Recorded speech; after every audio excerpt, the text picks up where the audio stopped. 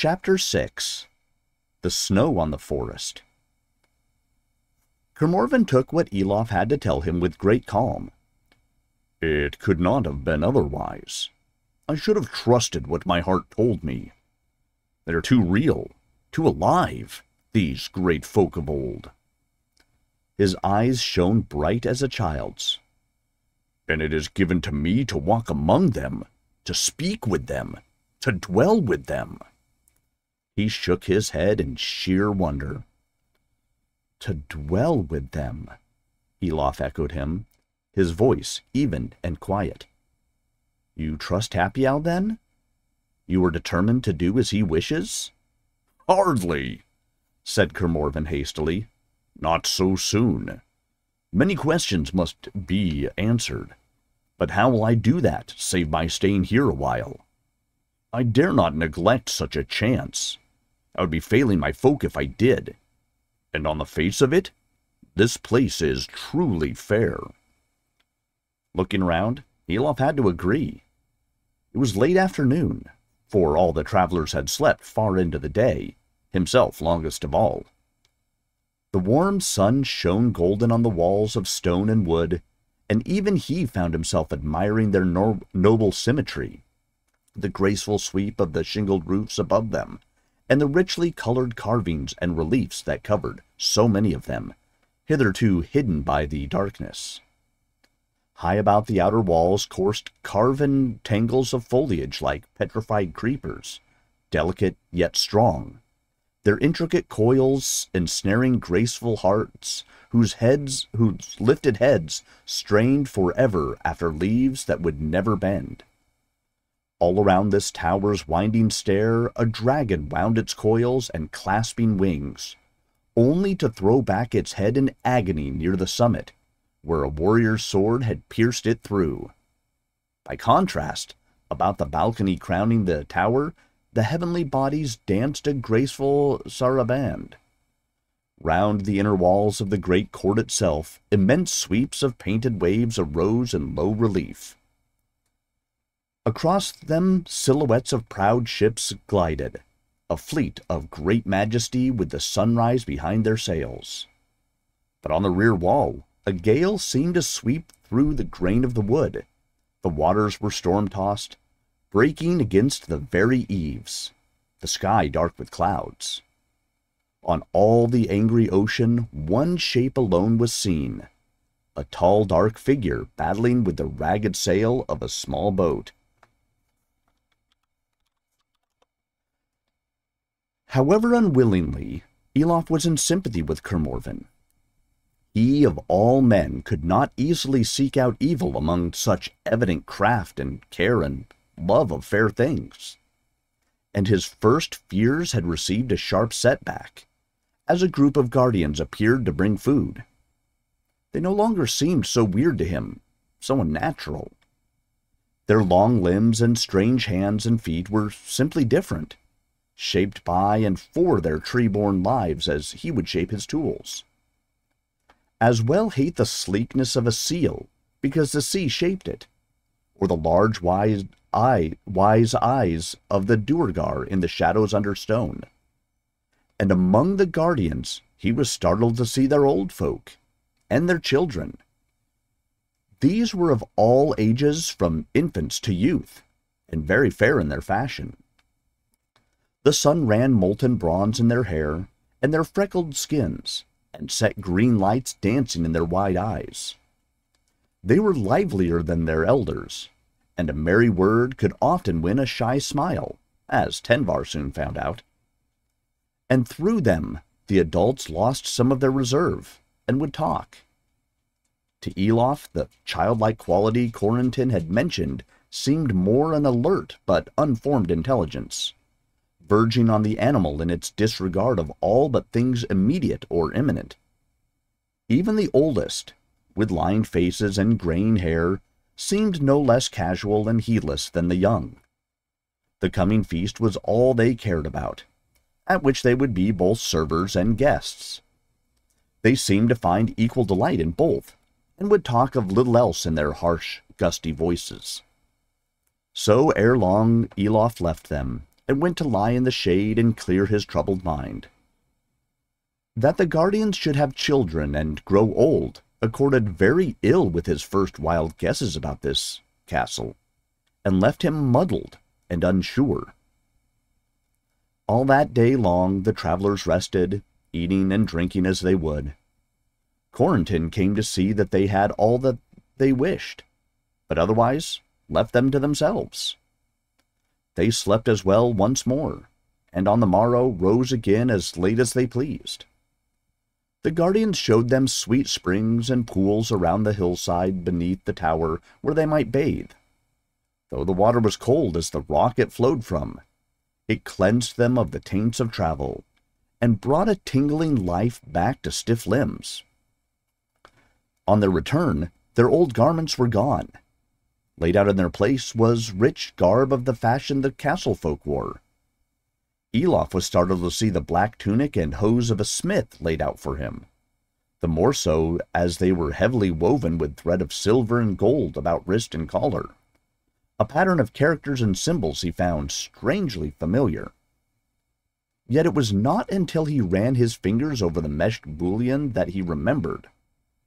He fetched from his pack the ancient crook-tipped rod of bronze he had once used as a cattle goad, and which he guessed must once have been something more.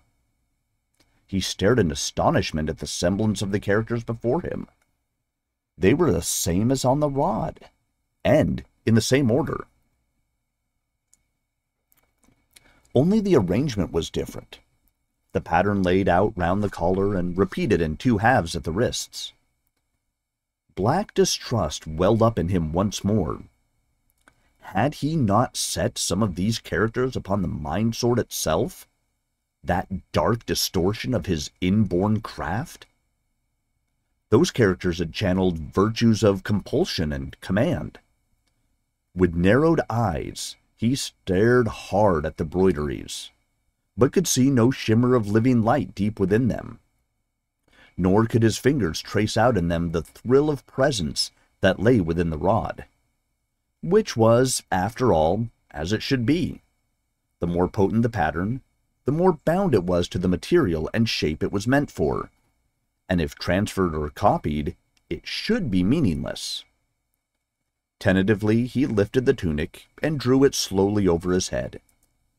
He relaxed as he felt no influence, no trace of difference come over him.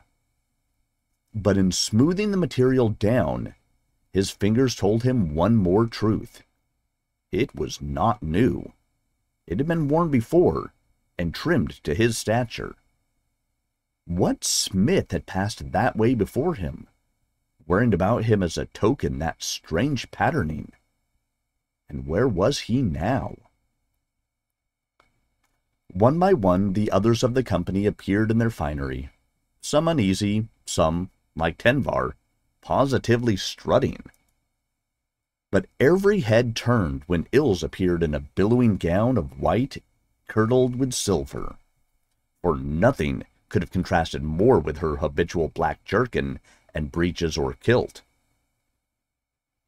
Its flowing line lessened the square Duergar frame and set off her curly black hair and her sparkling eyes. Tenvar went so far as attempting to kiss her hand, before he caught the dangerous gleam in her eye and thought better of it. Only Kermorvan was missing, and Elof was about to remark on that when footsteps sounded on the upper stair. Into the gallery stepped Corentin. About his shoulders, tunic and heavy mantle blue as dark seas. And with him, Kermorvan, clad exactly as he, but in green. About their heads were fillets of gold set with gems. About their throats, collars like ropes of rare metals wrought and twisted. To Elof's eye, those jewels shimmered and flashed like sunlit water. Strong virtues dwelt in them, that wove about their wearers an enhancement of their kingliness and power. The guardians hid their eyes as from the sun, and made obeisance. After a moment, Elof and the other travelers bowed also.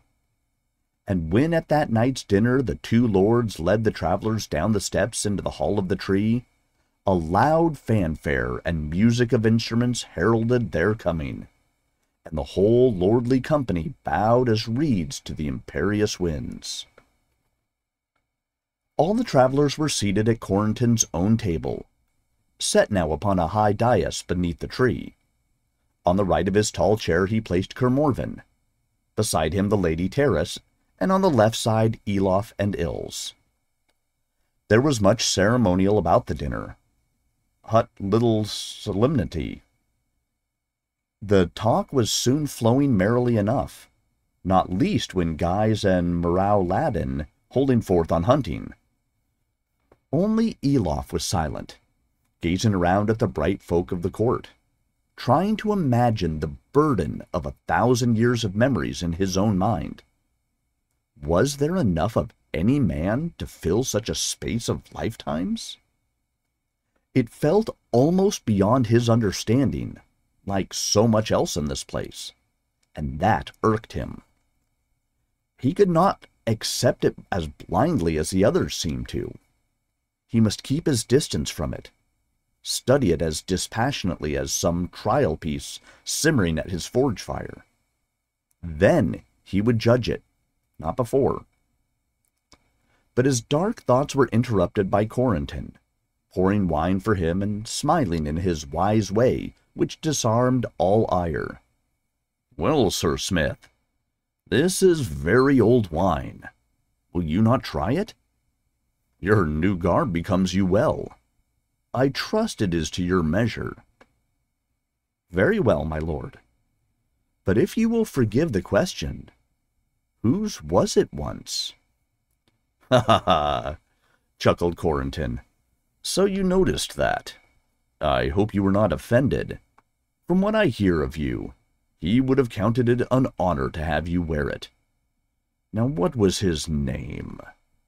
A friend, and it escapes me shamefully. Tharv. That was it. Tharv. A northerner, as you are by your speech. And a man commanding a boundless craft and skill. Why, even Lord Vade respected him, who was himself a great smith. It was Tharv's livery. Livery? Elof had never heard of a smith wearing any formal garb, save his guild's. Aye, he was the king's chief smith. Did you not guess that from the pattern? For a moment, the prince's kindly vagueness fell from him and his eyes glittered as he gazed into infinite distance. It lives in my mind, though long it is since last I saw it. Long since Karen gave it secretly into the hand of Ase, our sister, she whom we called the deep-minded, to take westward and hold there for his son. Is it not the symbol of the power the smith sets in the hand of the king? Is it not the pattern of the great scepter of Morven itself? How that meal ended, Elof never knew. He must have eaten, held converse, taken his leave in some kind of dazed trance. For it was like an awakening when he found himself alone in his bedchamber, the bronzen rod cool in his clutching fingers in the keeping of Ase it had been. But Kerberheim had cast out Ase with the other northerners, who had then founded the realm of Norderney. So what might Asenby mean, where he had had his rough raising, but the settlement of Ase? A remote place where such a treasure might be hidden, and in time even forgotten till it found such use as a gaggle of peasants might have for an instrument of kingship and command. Small wonder the Ekwesh chieftain had kept it from the sack of Asenby. His shamans could not have failed to know it for a thing of ancient power. A greater mystery was how Elof himself could have been so blind Yet even as he remembered with a shudder how casually he had used it to tug and prod the huge cattle about, he felt the shimmer and flux within it fade and shrink to a distant gleam. He thought of it in a king's hand, and to his inner eye it burned with a warm golden flame. Startled, he let it dim once more, overwhelmed by the strangeness of his destiny. For all he knew, the sole purpose of his whole existence might be to restore this heirloom of power to hands that owned it by right. But whose hands were those? He knew one with a good claim, but now he had found another. That was too good a recipe for strife. Decisively, he wrapped the scepter in its soft leathers once again. Kermorvan was his friend. He would tell him before he told Corentin but he would tell neither yet. The days of ease that followed held no more shocks for Elof. Indeed, they seemed to lessen the impact of all that had passed, making familiar what had felt so strange. Resolve as he might to keep apart from the court, he soon found it would not let him. In truth, as Roc and Ils delighted in pointing out, the fault was his own. In his way, he was fair of face, and his withdrawn, thoughtful manner, together with the rank and power his new garb suggested, brought him into notice among the ladies of the court, and great demand. At every turn he was greeted with a mixture of awe and breathless interest that few men could ignore, fewer still failed to enjoy, especially as young as he. Nonetheless, it made him impatient. Somewhere was Kara, and all the fare of Lis Arvalin could not, for a moment, take her place. Their attentions he enjoyed, but he found the courtly company and manners exhausting, suffocating, as rich and heavy as the garments and the hangings on the walls, and as dulled with age. Even Corentin's unfailing kindness and courtesy began to seem bland, almost sickly. Worse, Kermorvan, who greatly revered him, was taking on the same airs, and losing or curbing those flashes of spirit, even arrogance, which had seemed so much part of him. It's not so bad, protested Roc. Might be this last terrace that's taming him. And who's to blame him for that? You just got a morning head on you. Or it's stale you're getting. Stale? laughed Elof bitterly, ducking his head beneath the chill spring waters to clear it. Worse than that. That feeling is with me still, that my past is slipping away beneath these trees, as if there's always been forest nothing but forest. No place, no time beyond the shadow of these boughs that weigh upon my soul. And it grows worse. Even my craft fades, all the mystery and the scholarship. Small wonder, perhaps. Among this world of things that grow, the arts that dwell in metal are scant service. What can I shape or smelt here?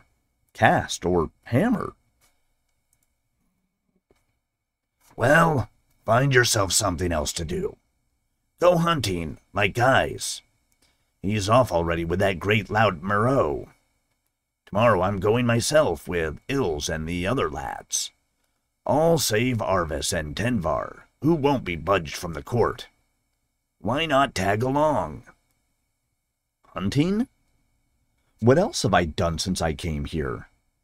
Fisher, forester, hunter, gatherer, till my mind rots like the leaf mold. Roc rolled on his back and kicked up water. You've turned fisher and gatherer before, have you not, upon the marshlands? You almost liked the life. Aye, but there I had my smithy to balance them, and a useful service to do. Here I've nothing. You've your tools and mine. You could tinker up something. What you need's a good spot of hard work. Sweat all this holidaying out of your bones with some good, honest craft. Work? sighed Elof. What meaning has labor here? And what place for it?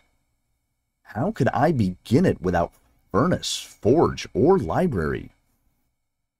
Those may be found. Elof twisted round sharply in the water. It was a voice clear and unhuman as before, but of a wholly different timbre. And it had not come from any of the trees around the pool, but from the rocky source of the spring itself. What is it? barked Roc. What do you hear? The spring. The falling water. What you need, you may have.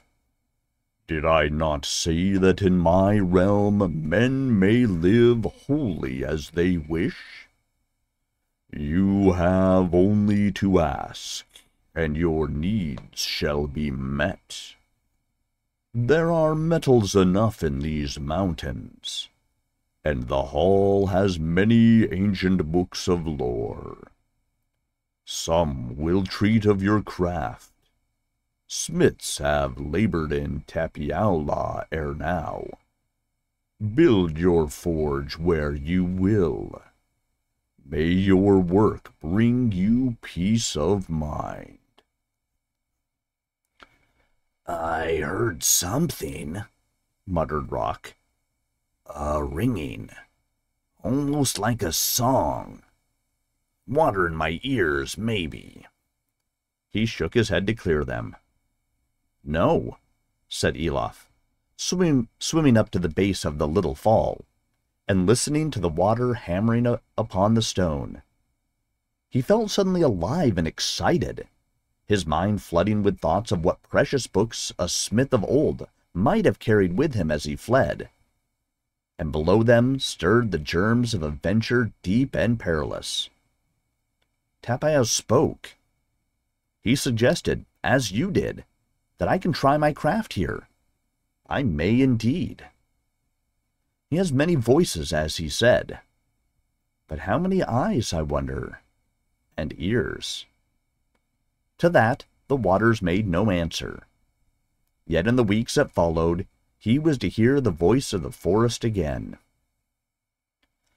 It was a time in which he felt increasingly alone. Roc went off on his hunt, and with him Burr and Borhi and even Ils. Arvis and Tenvar seemed happy to lose themselves in courtly pleasures. Kermorvan was with Corentin, plying him with questions about Morven and other ancient lore or with Terrace. How serious that attachment was, Elof could not guess. But though Elof could have found company enough in the court, he shunned it. An idea had been set in his mind, a spark lit that would not go out. His craft would not leave him be. He had found his purpose. Until he achieved it, he could not rest. Corentin gladly gave him leave to search through all the castle's store of books, but at first his search seemed likely to be fruitless. It was chiefly chronicles and romances of old that had been well tended, and in some cases recopied. Fascinating as he found many of these, they were distractions he had no need of. Books on almost any skill or craft he found dirty, neglected, in some cases even crumbling to fragments, as leaves to mold upon the forest floor. But he cleaned and patched what he could with fine cloth or parchment scraps pared thin, and drew rich rewards. There were a few elementary books, but his capacious memory already held all they could offer. It was lost works he hoped for, texts as rare and arcane as those upon which the master smith had mounted his most deadly guard. Elof was not disappointed. From beneath a disorderly pile of histories, he recovered one full scroll of the Urcus Illen, an exhaustive treatise on symbols the mastersmith had known of, but could never find. He had not dared hope for the Skolnir book, Yet he found an excellent copy on fabric, with man shelves. The rarest work of all he found was the minor but fascinating Daybook of Ambrus, an accomplished armorer of Morvanik a century or so before Corentin's day.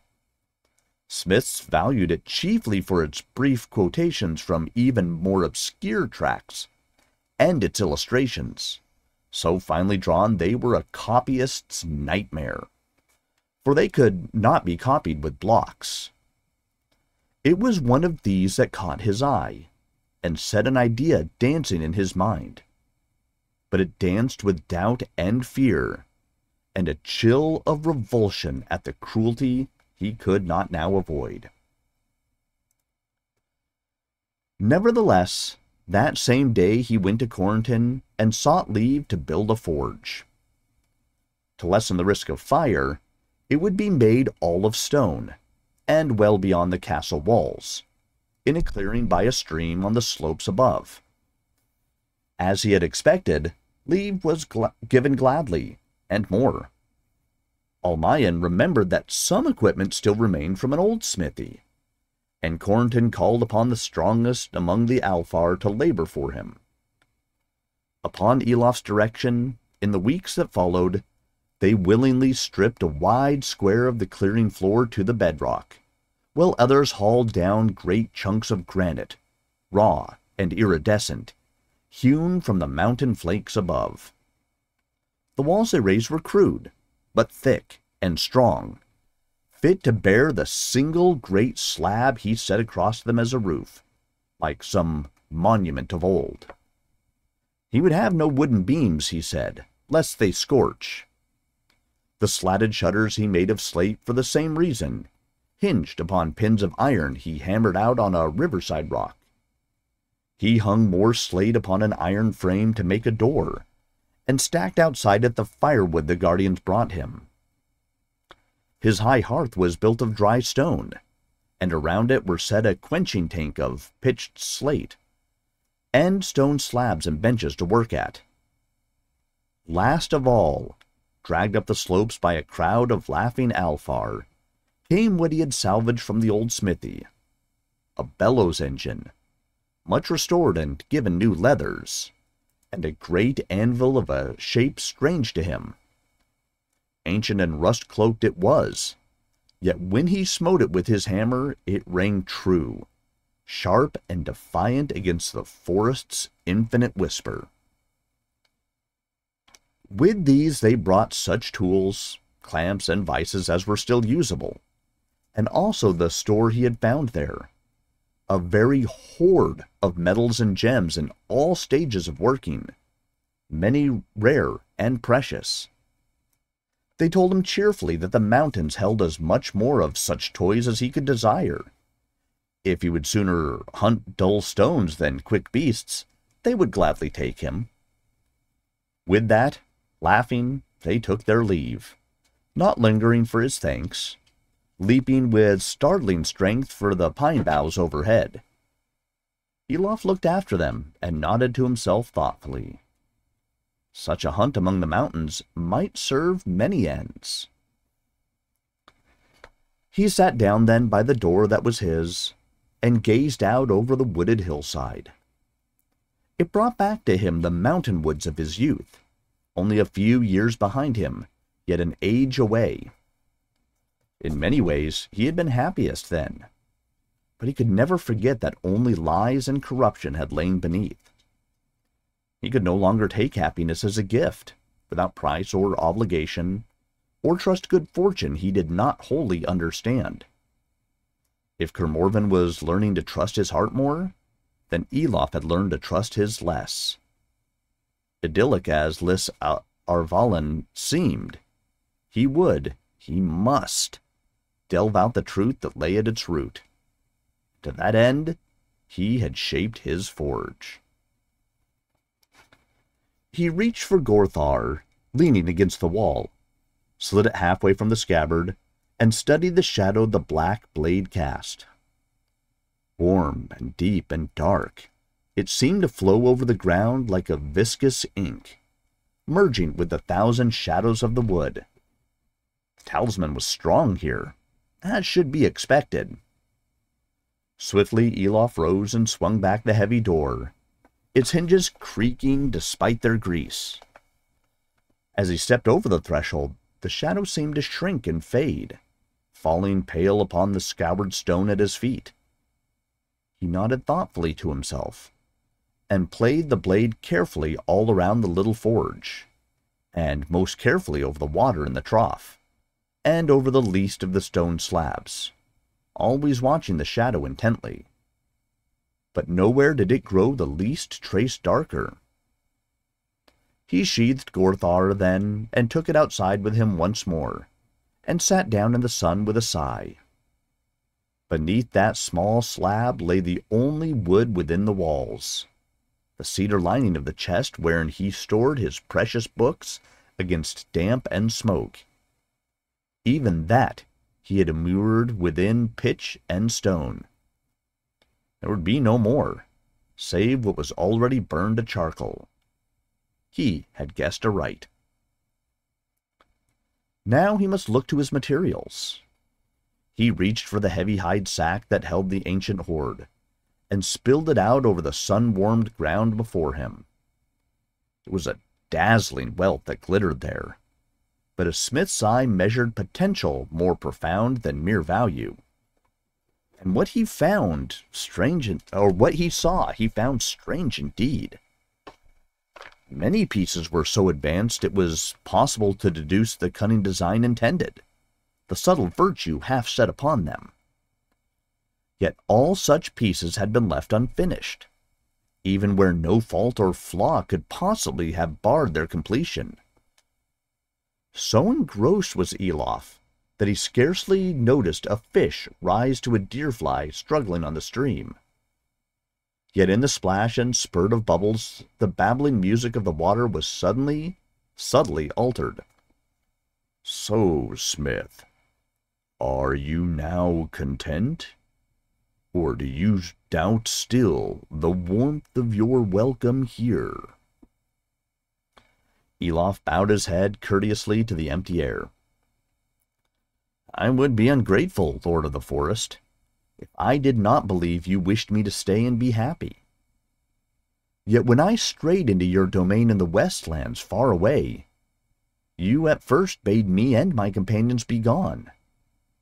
Why then? Or do I give offense?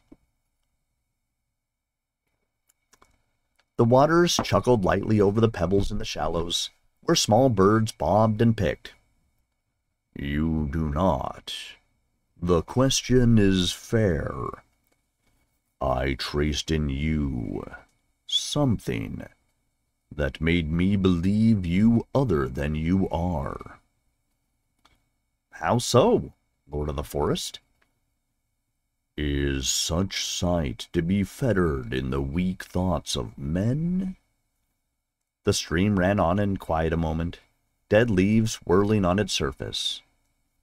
Say, then, that most men cast shadows in my mind, shadows that vary, some lighter, some blacker but you, you are no shadow. You are like some shifting glimmer in the forest depths. Very like indeed, for the forest is my mind. Then why fear to have me in it? asked Elof boldly. It harbors many a blacker thought than I. The tall trees stooped and bobbed, looming dark over the forge. It was for one such I took you. I did not know you for a smith among men. Aware of forces within you, I thought you an elemental, a minor power, astray in my land without leave and perhaps a danger to my folk. That I could not tolerate. You should understand. You have met some, the dwellers in river and lake, and the hunt. Do you tolerate them? Many of my companions they took, good men and bad alike. Why hedge your land about with such horrors, if all men are as welcome as you say? The water swirled and gurgled, and its note grew deeper. You are bold, Smith, so to bandy words with one of the powers, and not the least. If I were as ill disposed as you suspect, would I need to answer you? I harbor such creatures out of two concerns, and the greater is pity. Pity? Even so, where else have they to dwell? Those creatures, and many others it is well you did not meet, they have needs and ways of life that would seem wholly strange to you. In the world outside, the world of men, their day is past. What parts and purposes they once had in the world's shaping, they have outlived. But they have grown used to their existence forgetting or fearing the changes for which the time has come. That I condone, for I know how hard such changes may be. Once, this was a world of forests, Smith, before the days of men. So under my trees I afford them shelter and they guard the borders of my realm. And guards I must have, for though I wish men well, I cannot allow them in their wasteful ignorance to devastate my land, which will one day be their surest refuge. The Alfar love their children, Yet will they let them play with flame? Had I no sentinels, the trees would be hewn down to feed fires or build shacks. The animals hunted to extinction. The whole ancient cycle of plenty torn asunder when it might have provided for all. For now, I must endanger a few lives, that one day, when the works of men totter to their fall, I may receive them whence they should never have strayed, back into the embrace of nature. Then shall I throw open my borders and welcome all. And that day may not be long removed. In it, I shall need great leaders. Corentin, for one. Your friend Kermorvan. The Lady Ils for her folk.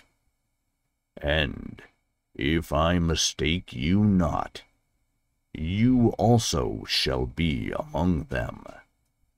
Reflect on that among your labors. That evening, as Elof strode back down the hill to the castle, he saw trails of torches winding among the trees below. He guessed it must be the hunting parties returning for the following night's feast, and hastened to greet them as they set down their catch on the greensward before the gate. Roc and Ils greeted him in boisterous good spirits. He had to endure much chafing for laziness till he managed to tell them of the forge. They in their turn had something to tell him, for they had fallen in with another party, among whom was Morhuin, the renowned bard, coming to the feast. Though he was scarce willing, till I told him of Kermorvan, added Roc. And who'd blame him? That's a fine, carefree life he's been leading out there with the Alfar Elof. Do you be sure and try it some day. Elof smiled. Perhaps I will, and soon. Will you go hunting metals in the mountains once again, Roc, as we did in the old days? And you, Ils? I thought you might. She laughed. Where'd you be without me? Humans lack the eye for how the stone lies. And we'll see if Alfar can beat Duergar after that game. Roc snorted. I'll be along to pick up the pieces, as usual. But for the nonce, nothing comes twixt me and my dinner, save a good bathe. Let's go in. All that evening and the next day, the court was a whirl with excited preparations for the coming feast. But Elof was beginning to suspect they looked forward to such celebrations not only to break the monotony, but to lay down for a while burdens which had grown intolerable, their own natures. And when at last Corentin and Kermorvan led them in a solemn procession into the great court, glittering now with the strange lamps that had been hung even among the mighty oak's leaves, it was not long before his suspicions were confirmed. As the night advanced, he found the wine and music and dancing flowing together into a single inexorable current of ritual revelry. In its constant shift and change, these strange folk could truly lose themselves, subdue the pain of thought to the stiff intricacies of the dance, disperse the pain of feeling in brief flirtations, spinning from one partner to another, as heedless as the least lived mayfly by the stream. Corentin took no active part, but he presided over the rout with amused indulgence. Only one of his folk seemed to take little joy in it all, the bard Morhuin, though many songs of his making were played. He was a gangling creature with shaggy white hair and beard, although in face and bearing he seemed scarcely older than Corentin, by whose side he sat. He heeded that honor no more. He shifted uncomfortably in his robes and spoke few words to any save Corentin and the guardians who waited upon him. His light blue eyes stared vaguely into remoteness, and at the many compliments paid him his full lips worked nervously. At the height of the feast, Corentin ceremoniously presented him to the travelers, and was only when his eye lit upon Kermorvan that the look in it became bright and alert, his bow deep and reverent. For I see that all I was told of you is true, he said, and his voice rang clear and strong. You might indeed be my Lord Karen come once again. I see in you a promise and a token that hope dies not with one day's ending, that by one winter summer is not broken, that springs may follow which shall flower as fair. So may the tower arise, once to the earth cast down, and on the humbled brows there be, shall be set a crown. There was a sudden rattle of applause as if a breath of mountain wind licked through the hall's heavy air. May it be so, barked Corentin, and raised his glass in a fierce toast. Then, as if ashamed of his outburst, he smiled and sat down, and the brief tremor of excitement faded. Ah, marvelous, breathed Terrace, who was seated between Elof and Kermorvan, and shook her auburn hair delightedly. Oh, and so very long it has been since he managed a verse thus. All of a moment. Master Morhuin, Master Morhuin, won't you sing us something? With the harp, if it please you. The bard bowed. Never have I been able to refuse you aught, ah Teresic even if there were not these new guests to honor. I wax old, but I will essay. He paused as he met Elof's interested gaze. What is this?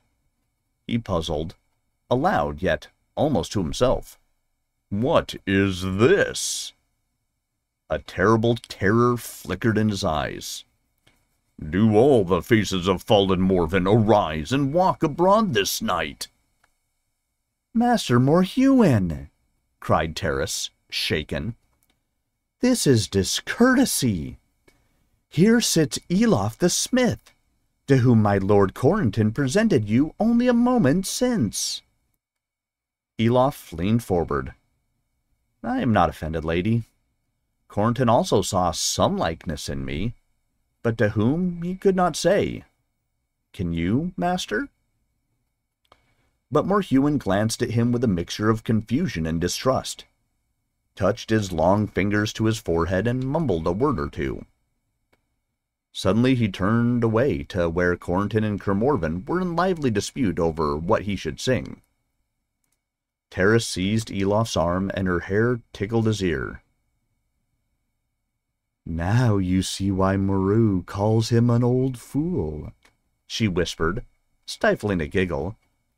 But he's so sweet, truly. And the way he sang for us in the old days. Elof hardly heard. He was too acutely aware of her touch, the quiver of her breast against his arm as she chattered, the sweet scent of her, like flowers warmed by the strong sun of the south. Probably she was unaware of the effect she was making. She had her cap firmly at Kermorvan. But Elof found himself fighting for resolve. Too easy, too natural to be tempted. The more so with the frustrations that knotted inside him, and the wine. To let himself be seduced, to linger, to delay a quest he had no real reason to believe could succeed.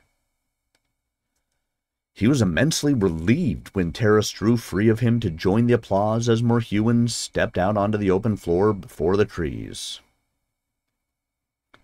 Elof, seeing him afoot for the first time, caught his breath. The bard was not merely gangling, he was grotesque, his flowing robes concealing an odd, shambling gait, as on limbs sorely twisted. From among the many groups of musicians in the hall, harps were thrust out to him. He made great play of picking the best and having its owner tune it to a particular fineness. Then he swept to the center of the floor, bobbed a bow to the court, and announced, By the will of our chiefest guest, Karen, Lord Kermorvan. He chuckled deferentially, and counter to the wish of our modest Prince Corentin. I will sing the deeds of Corentin Rudry of Laston, Lasterby. Kermorvan leaned across Terrace to whisper to the travelers. A ballad in the ancient mode. Lasterby was a hill town in Morven, north of the waters, whose heroic last defense Corentin led, his first great deed. Morhuin tucked the harp into the crook of his long left arm and poised his long fingers carefully. Then he swept them down to a single chord that shivered off the ancient stones, merging a voice of metal as clear and bright as the harp strings, youthful and heroic. Hark! Hold you silent! Heroes are sung of, such as dared strive with the stern powers of old.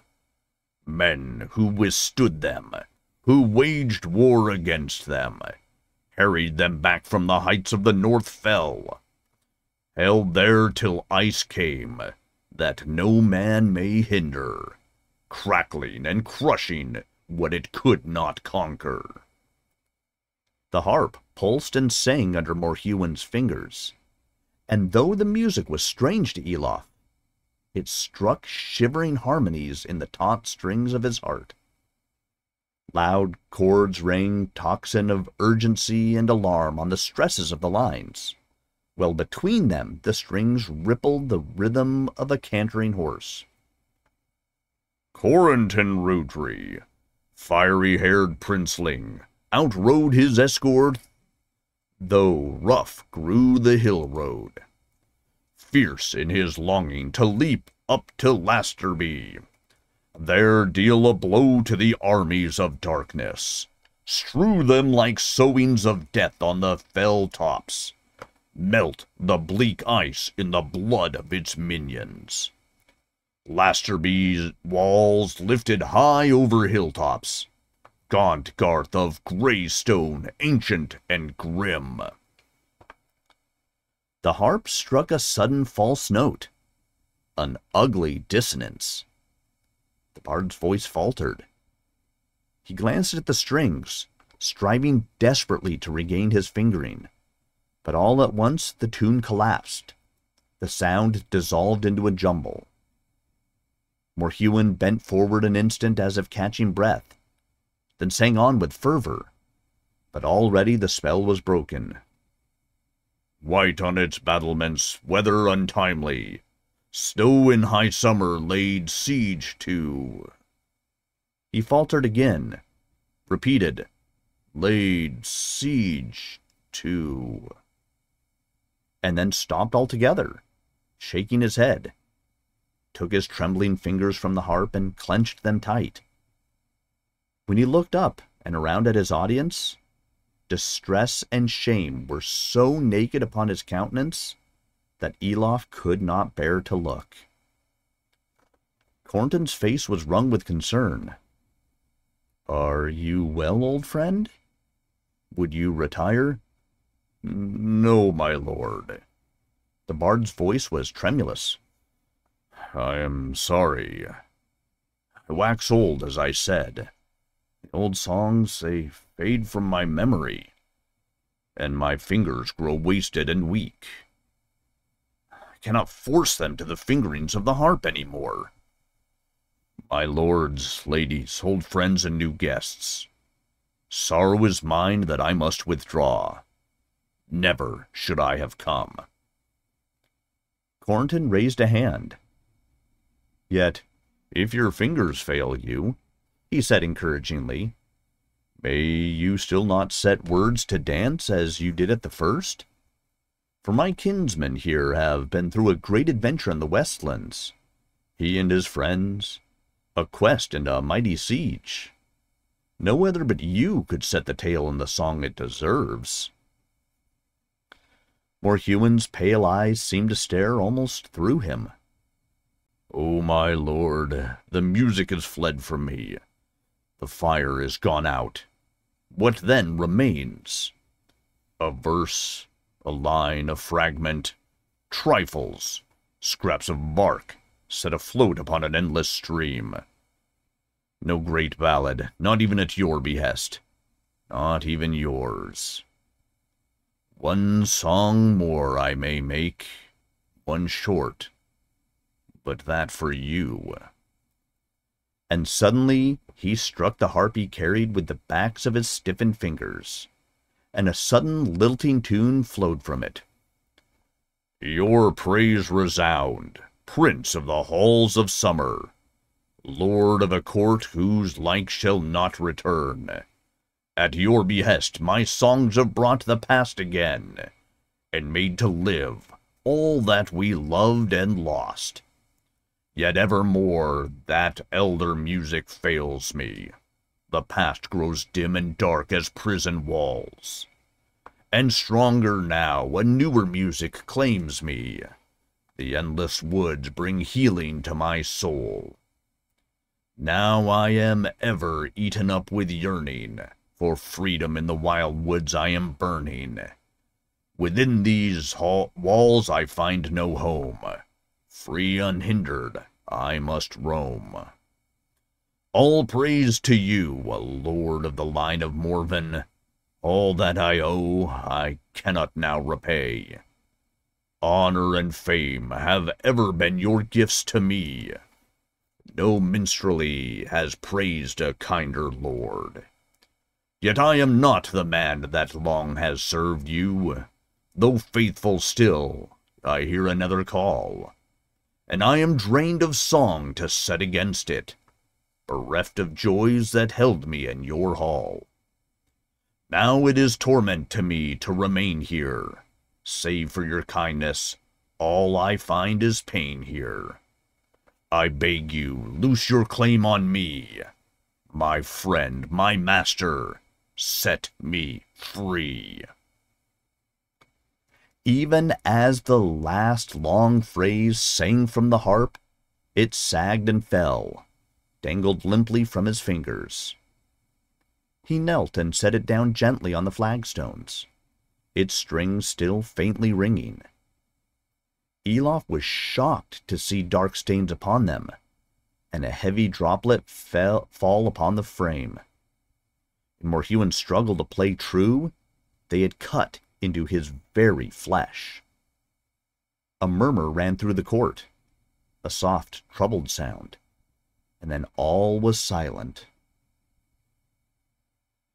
When at last Corentin spoke, there was a deep tremor in his voice.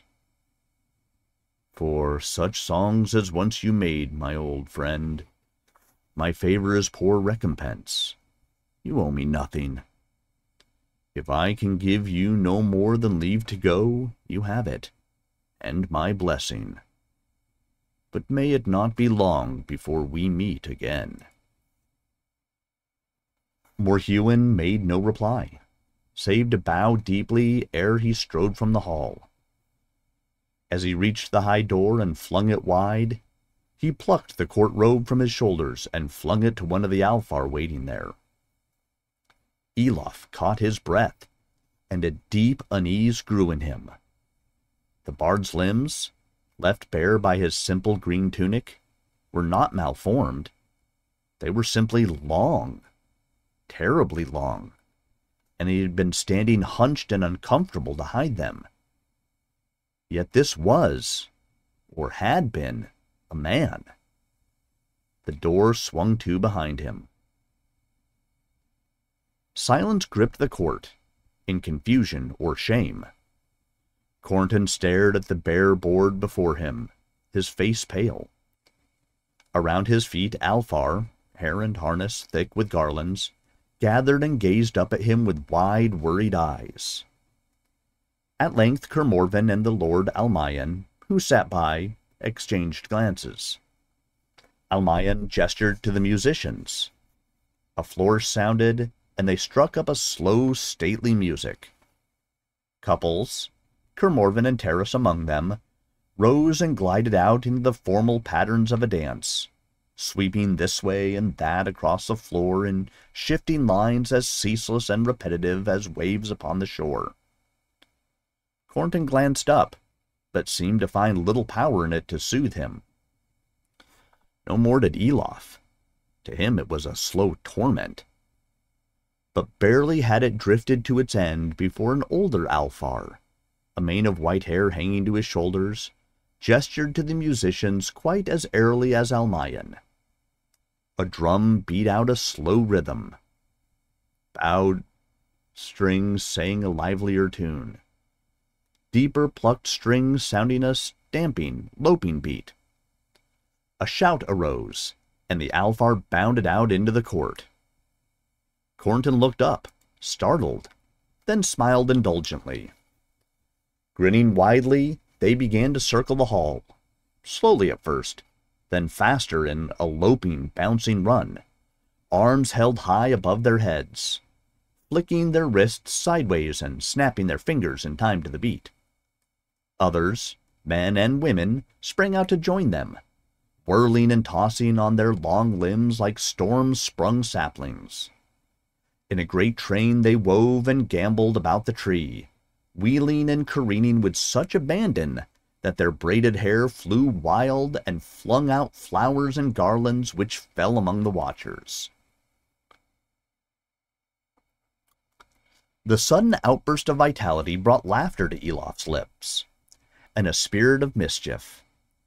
It reminded him of festivities in his own village, clumsy but cheerful, in which he had often longed to take part. Now, there's a dance! he cried, with a swift bow to Corentin, he sprang out among the dancers, and seized a pretty Alfar girl as she went whirling by.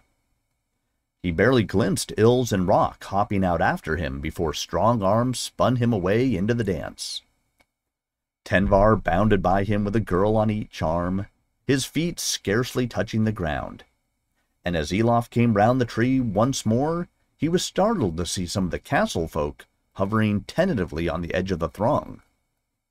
He had thought they might be offended, but they seemed more intrigued than scornful at this sudden eruption. At last, Svethen the mariner actually seized a partner and plunged in with gusto. Others moved hesitantly after him. Elof all but stumbled as Terrace tripped lightly by him, long gown kilted into its golden girdle, pulling Kermorvan after her, laughing wildly. Behind them, Almayan bounced along with a tall lady of the court, dignity flung like flowers to the wind.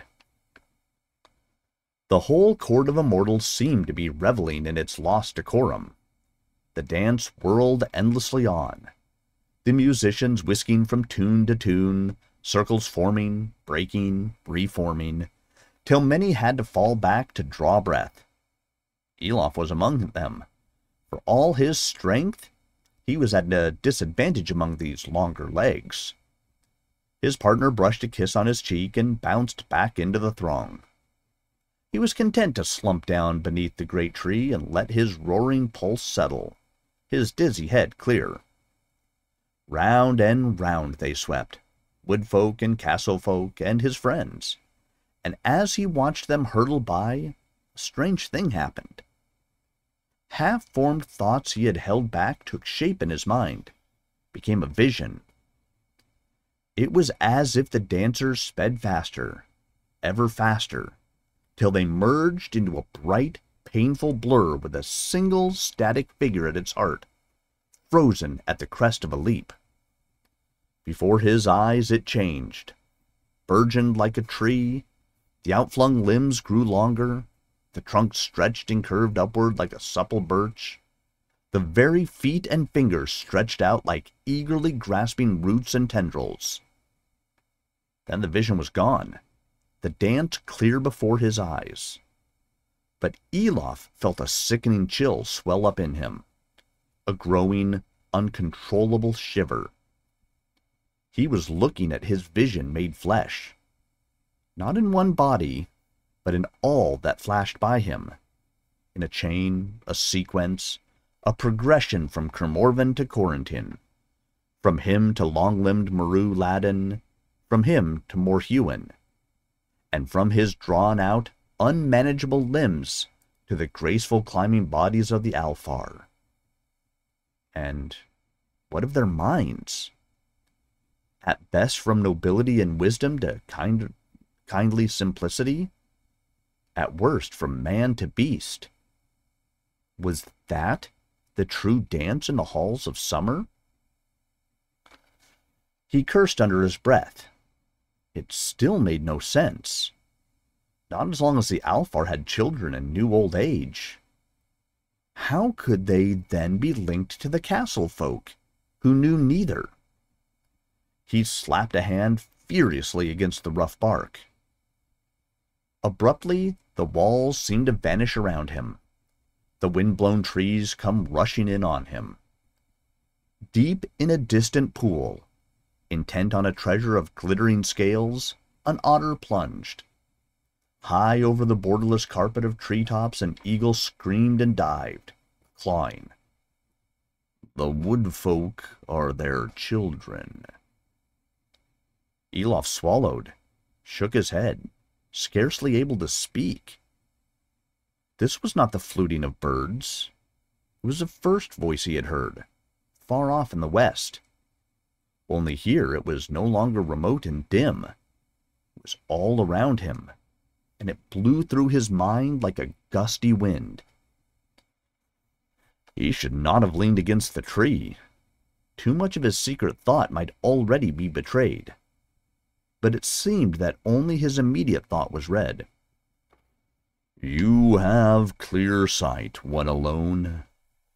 The Alfar are their children or children of their kin.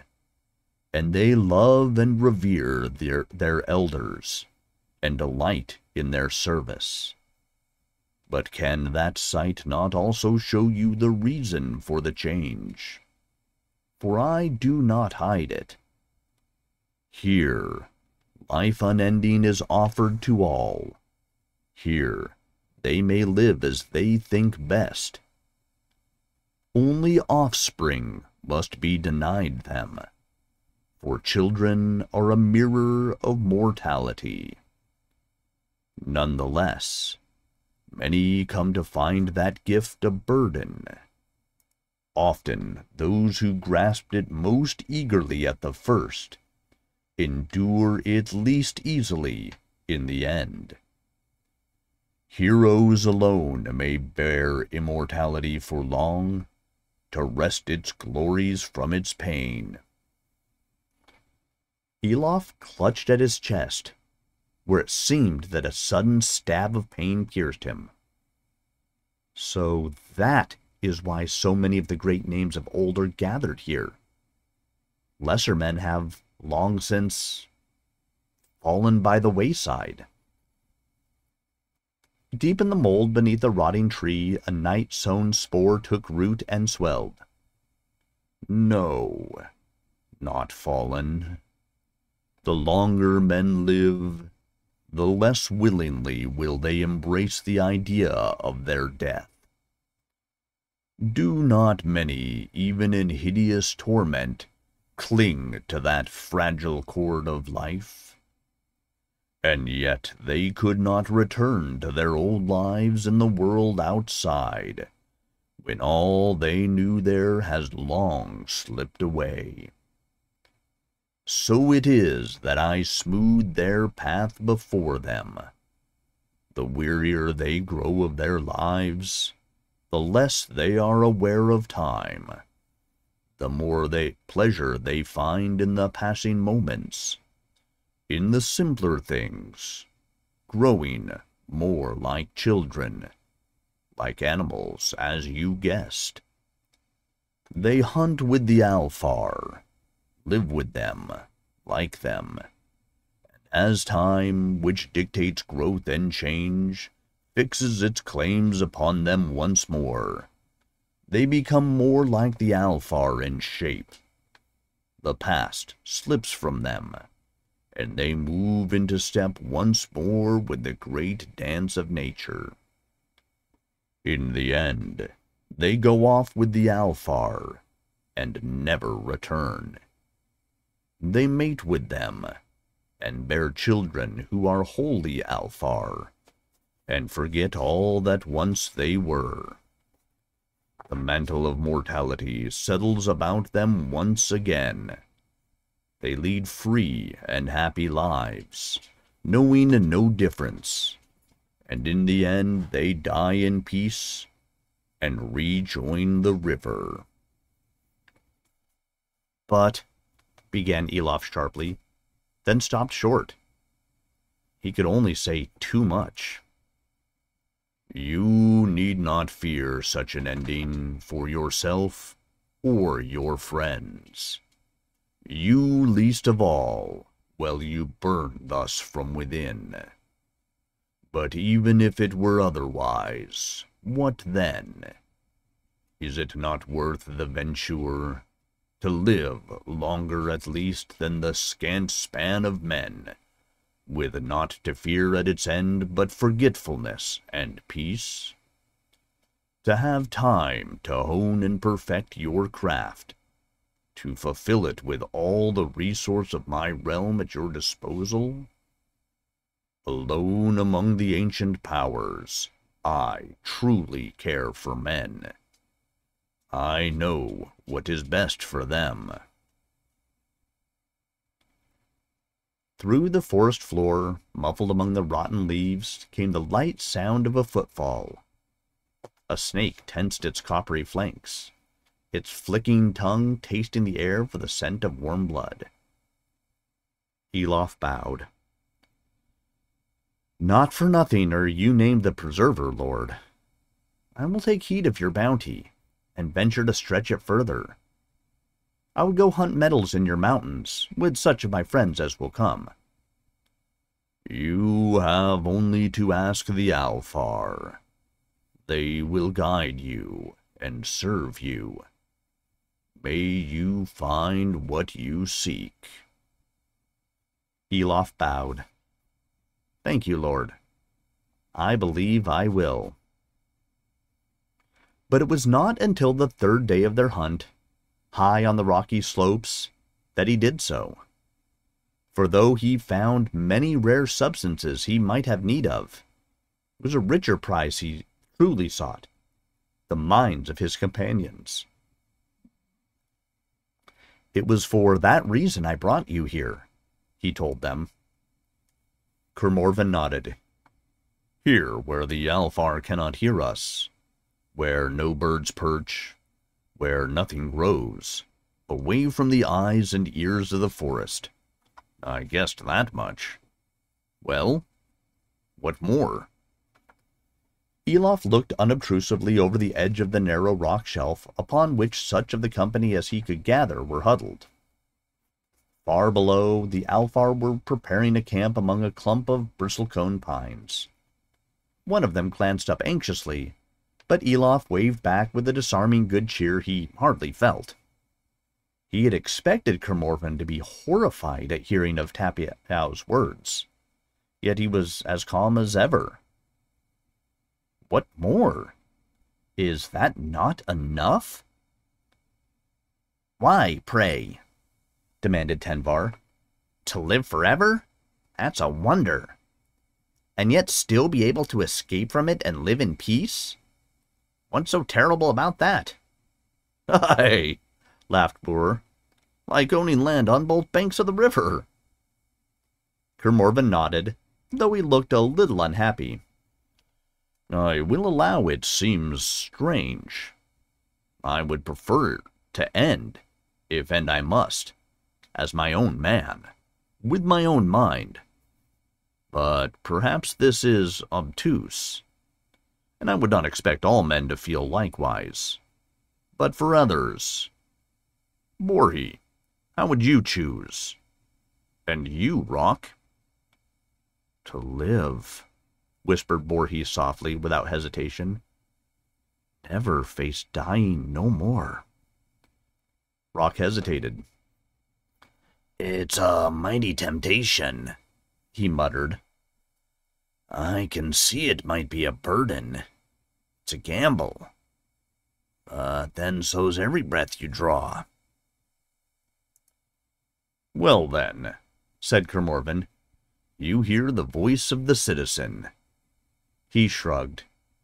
I see no great harm in it. Do you not?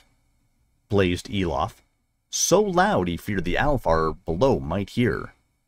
More quietly he added, Then look at it as it has taken effect. That architect, Ils, that bard, Kermorvan, what became of them? A hall half built, songs half sung? Is that not so? Ils looked at him uneasily, making no reply, but Kermorvan only shrugged. There mu must be many who could not stay the course, even men worthy and gifted. What of that? Is it not better to fall in a venture than never to have tried? the more so when the fall is so merciful, the venture so worthwhile. Has it not saved for this day such as Fethin, as Corentin? Saved? echoed Elof. And for this day? I wonder. What might they have achieved in the world outside, these folk, if they had not been prevented from reaching the West? King Karen's son, your ancestor, would not have lacked support. Corentin and Ase would have established his throne, as Karen intended. They would have prevented the bitter sundering of North and South that has so weakened our folk. Instead, what have they done? They have survived, and that is all. Aye, they live, but as what?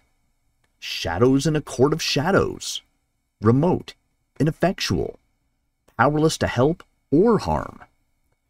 Corentin is noble, aye, and kind. He cannot be otherwise and still himself. But what else have all these centuries riven from him? Where's the fiery prince he once was? The strong warrior against the evils of the ice? And Svethin, far from his seas? What meaning has he any more? And the Lady Terrace, is she any more than once she was? Kermorvan's eye grew bleak and cold, but he held it. And what have you? How have you fared since you came here? What plans have you laid to summon your folk hither, those who depend on you, little though they may know it? When will word be sent back to Kerbryhaine? Kermorvan frowned. I cannot act in haste. Do you imagine Corentin and I have not taken counsel over this, long and deep? This place must first be made ready to receive great numbers. Folk must be summoned little by little, as Tapiau decrees, and their doubts resolved.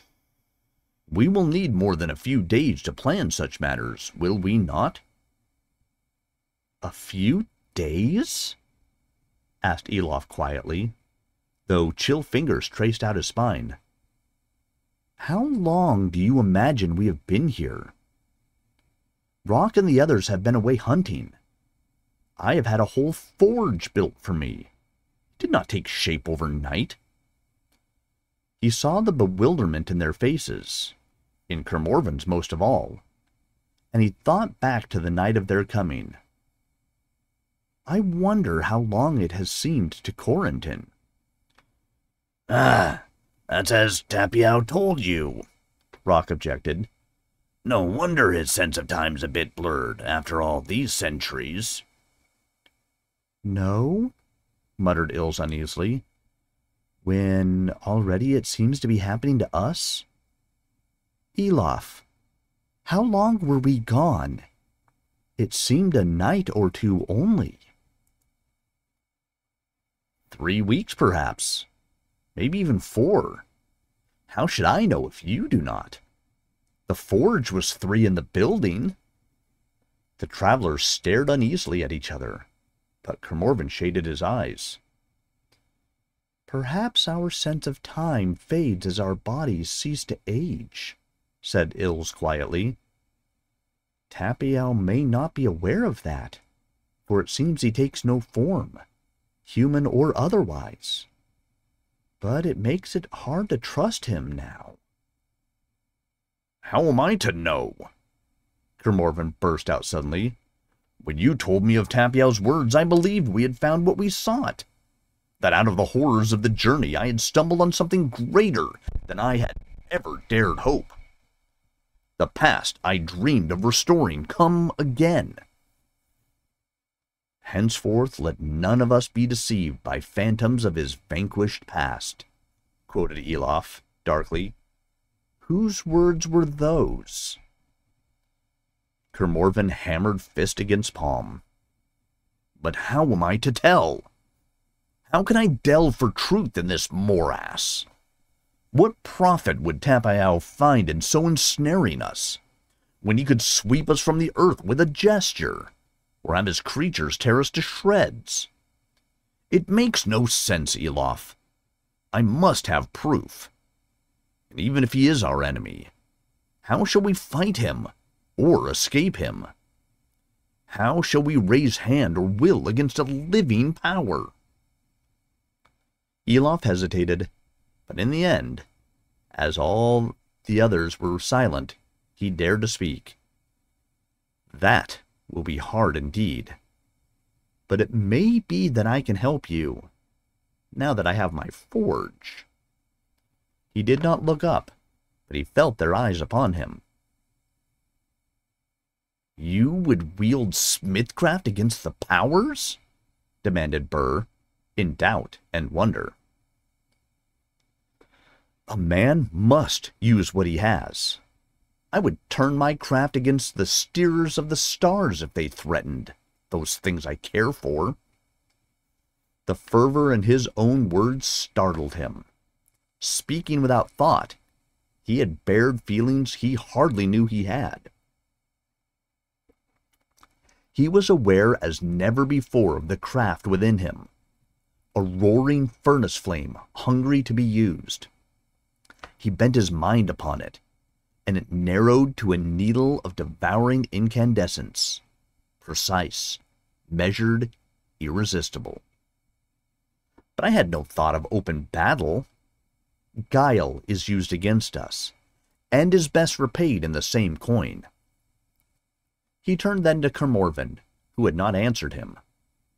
Well, it seems to me that we came upon this place at an evil time for you, when you had begun to doubt your own leadership, your own wisdom in making this journey. Perhaps the forest had already begun to work on you, as it had on me. But I am not of that mind. You are our leader yet. You ask for proof? I will try to find it, though the attempt may be perilous. So perilous that if you choose, if you deem we may trust the forest so completely, I will pursue it no further. Say now, what, which shall it be? Kermorvan stood up on the rock and gazed out over the forest in silence. But it was only a moment before he spoke his voice crisp and calm. You may try what you will. They came down from the mountains laden under many a sack of ores and other stones, which they gladly left at Elof's forge on their way to the castle. But Ils lingered a moment, and Roc at once began to busy himself about the forge as he had so many times in the past. Elof looked at him you needn't have no part in this, if you do not wish to. Nor you, Ils. Ils chuckled and leaned against the workbench. Roc screwed up his florid features into a ferocious scowl. Yours are not the only hands can wield a hammer. Could be ours grow a trifle itchy again at that. And you'll be needing a brace of good forge hands if only to pin down the top of your skull now and again. Eh, lady? Elof looked at them both, and he smiled. A great weariness seemed to lift from him, a cloud from his spirits. He hooked an arm round Ils's broad shoulders and rumpled Roc's thick hair down into his eyes. Ass! I'm blessed in the pair of you but I doubt any such task will need many hands. Slow and subtle it will have to be. Aye, and secret, said Roc quietly. You were wondering yourself about the forest's eyes and ears. We might distract it somehow. And share the peril, yes. I know your mind too well now, my lad but that may not be necessary. And he took up Gorthawer, which he was careful to leave outside, and showed them the dwindling of its shadow. Tapiau said it would avail me little among the cold stonework of men, and indeed upon Kerbryhaine's walls it faded. There he betrayed a limit to the forest's power.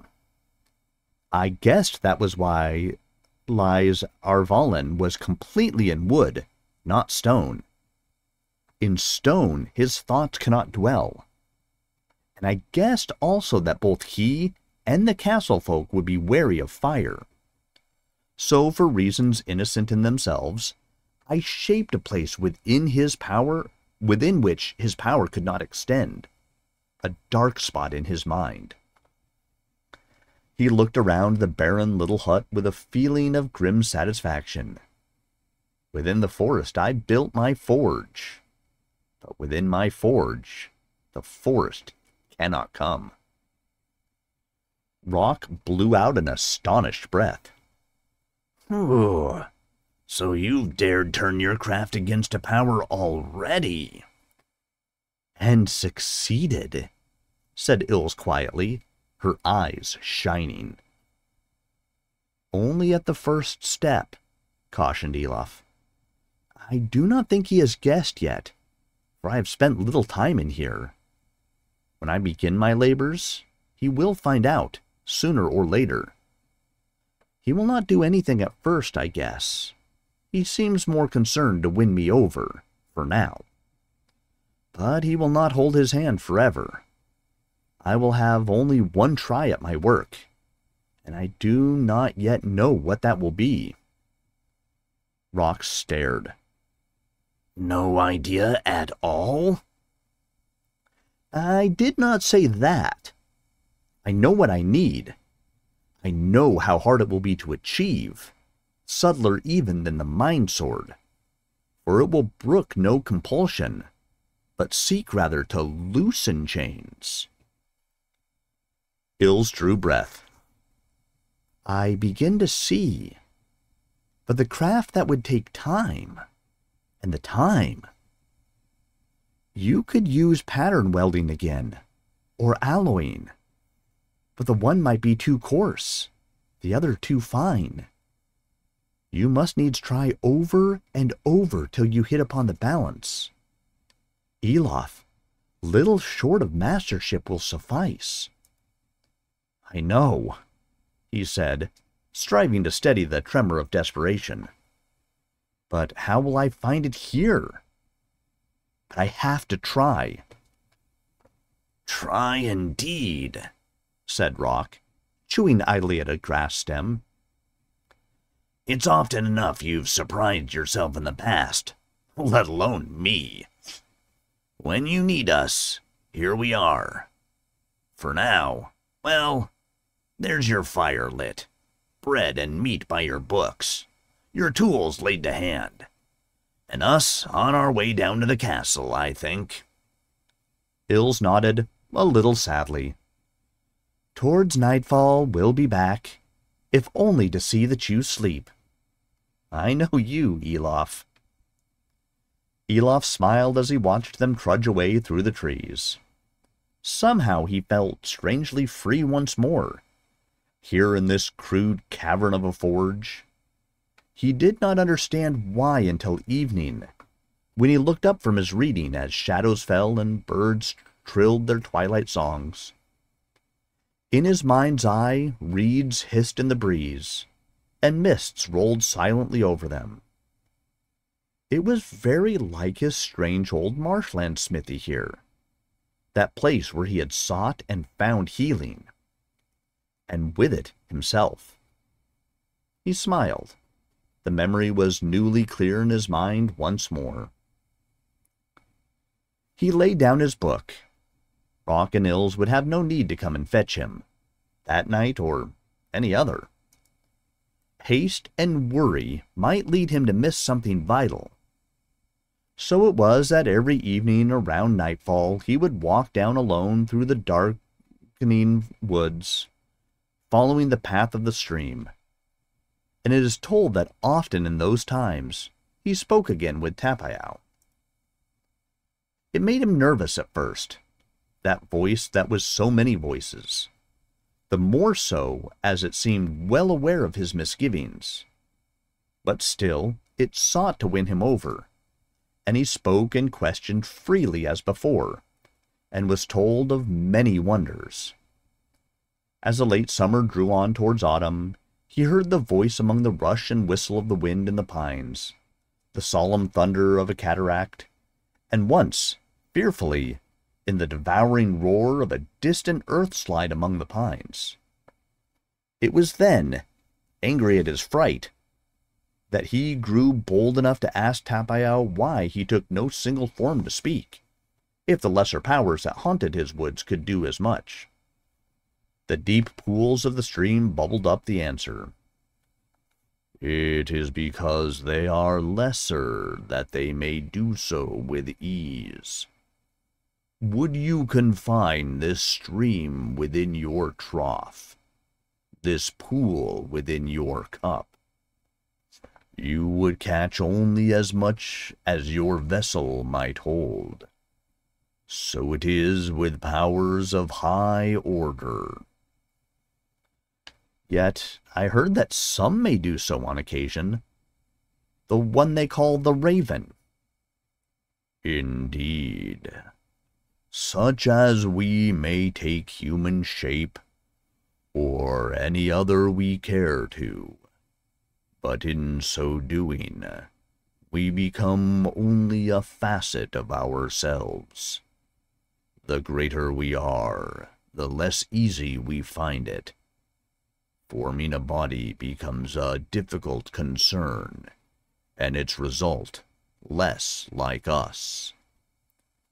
More than a man he may be, or she, for gender goes beyond the body, but less, far less than the power itself.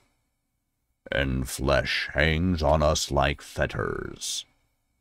There is so much of ourselves, our wisdom and knowledge, that we cannot draw on till we revert to our true shape. Worse, we fall victim to all the strange demands of flesh, and often cope less well than those born into it.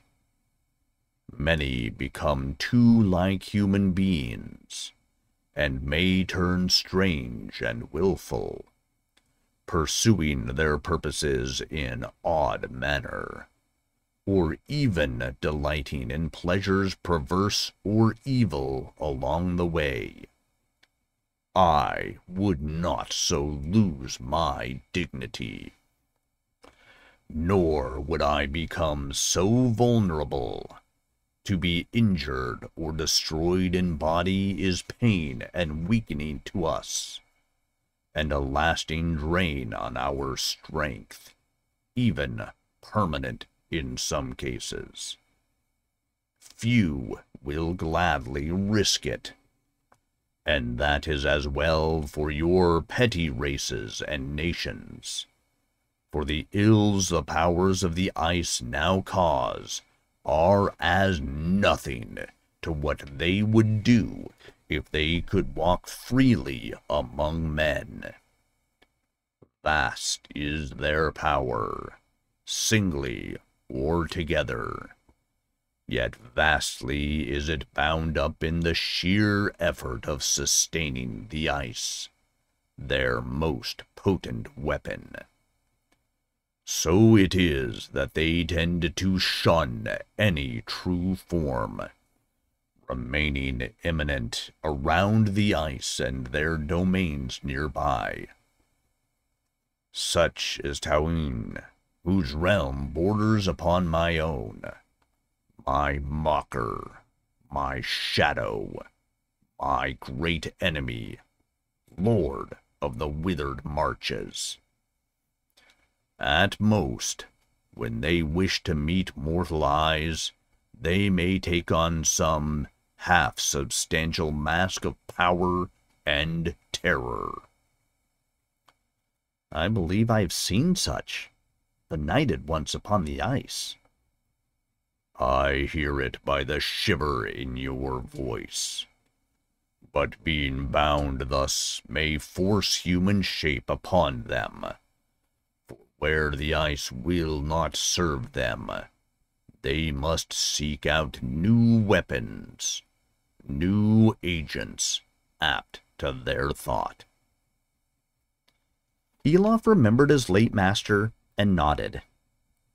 Then it was as if the ice clenched a chill fist beneath his stomach, for he guessed at Tapiau's next words ere they were spoken. Not now. Only the greatest of those cold minds are strong enough to do this, to don the shape they abhor. Once, an age past, Town was their leader. Sustained by his weaker brethren, he roamed the world and sought to twist weak mind to his fell purpose. But I am the friend of man, and had the service of many. I wrestled with him and threw him down and drove him back, stripped of his body and sunk into a shadow of the power that once he owned. In these days another rules, a clutching, binding spinner of intrigue, who oft-time walks the world in a fair form to sway the hearts of men. Veiled so in flesh, she shows but a small portion of her own great beauty and majesty and terror. Yet I have heard that to men it seems great indeed. What is her name? choked Elof. Teun she is styled. Teun's deadly consort. But the creature she becomes among men names herself Louhi. Elof remembered little of his walk back that night. He ate little and slept less, tossing and turning upon the furs of his bed. Could Tapiau have heard of his own quest and seek to turn him aside from it? Perhaps. But well the master of trees might slant a truth, he would not lie so plainly. Louhi also has taken an apprentice. If she's Louhi's, she'll be nothing for you and I. For what that girl has, Louhi has. Be sure of that. No smith welded my chains, and even if you were the greatest among men, you could not make them. The words of many voices blurred and burned in his mind, and became one, echoing away into distances vast and chill. Nothing. You could not. If Louhi was as Tapiau said, then what was Kara? What had he dared to love? What had he set out to seek across all the breadth of this vast land? Across all the world, if need be? But then, as if in answer, he heard the dark timbre of his own words, remembered her heart leap beneath his hand as she spoke. I am of no common sort. I will not change. He lay still then, and a bitter calm settled across his thoughts. She would not change? Then no more must he. What he loved, he loved. It was as simple as that. He could only go on as he had done, seek with as single a mind as he had sought to counter the Mind Sword, as he had sought to reforge Gorthawer. It came to him then. From his long search through the remnants of the Master Smith's library, a memory surged up. A matter that had seemed of little moment at the time. So might it still, in itself, but if he could turn it about, it would surely serve his will. He slept then, but excitement woke, awoke him at first light.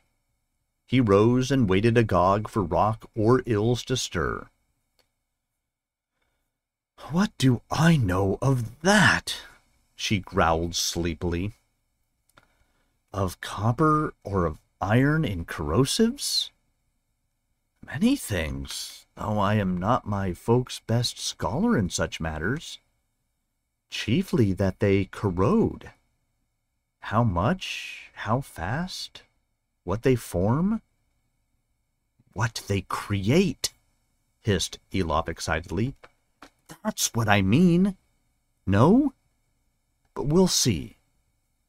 Now, we'll need quantities of corrosives sheet copper and iron as pure as we can make them. And some of that powdery black stone the mastersmith used for marking parchment. Ought to be plenty in the hills, yawned Roc. Comes from schist or the like, doesn't it? Won't lead do as well? No. It's not for making marks that way. Come, bestir yourself. We dare not waste the day. We've long weeks of work ahead.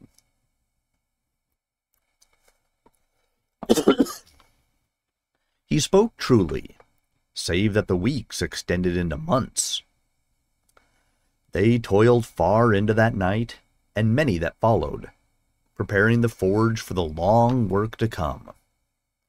Then they vanished for weeks on end with the Guardians, hunting out rare or precious minerals from the stones and the finest clays that could be gathered. Elof made it his business to sweep Roc and Ils along by sheer will, till he could almost see the lethargy of castle life fall from them. As the long summer faded and the heavy rains of autumn passed, he spent every hour of daylight in the forge, and by night its fires flared and shimmered among the gaunt evergreens, a defiant assertion of warmth and energy. Many asked of him what he labored on with such exertion, but all he would say was that it was to be a gift.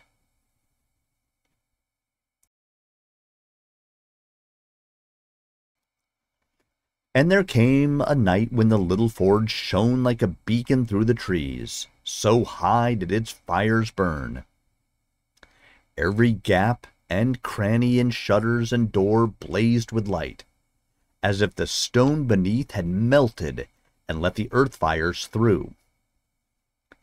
Later the shutters were opened to let a cloud of steam disperse, and Roc and Ils stumbled wearily away down the well-worn trail to the hall. Elof lingered long thereafter, and the hammering and crackling of clay molds echoed through the night. At last, he made his way down to the castle in the small hours of a morning that sparkled with frost. So silent was the forest that he was quite unprepared for the sudden change in the music of the stream. Well, Smith, upon what do you labor such long hours? Elof smiled tautly. Uh, casting in silver, Lord of the Forest. A jewel, a gift for a great lord. I do not doubt it will be worthy of him. Yet, have a care. Abroad in these woods so late without the guardians. You are aware I have other subjects. For many, the night is their province. Upon the path to the castle you will be safe but never stray from it. There was a sudden rustle, and Elof ducked sharply as a wide shadow swooped down upon him. But it passed and settled with a flutter upon a branch ahead. A huge owl that stared at him with glittering eyes topped by feathery peaks like horns. A stare cold and unnerving. Elof caught his breath and swallowed. Hard. He nodded. I hear you, Lord Tapiau. I will keep to the path. Good night. But his smile was grim as he made his way through the last of the trees. Grim as the satisfaction he felt. He would keep to the path indeed, the one he had trodden since the beginning. Tapiau had at last dropped the mask a little.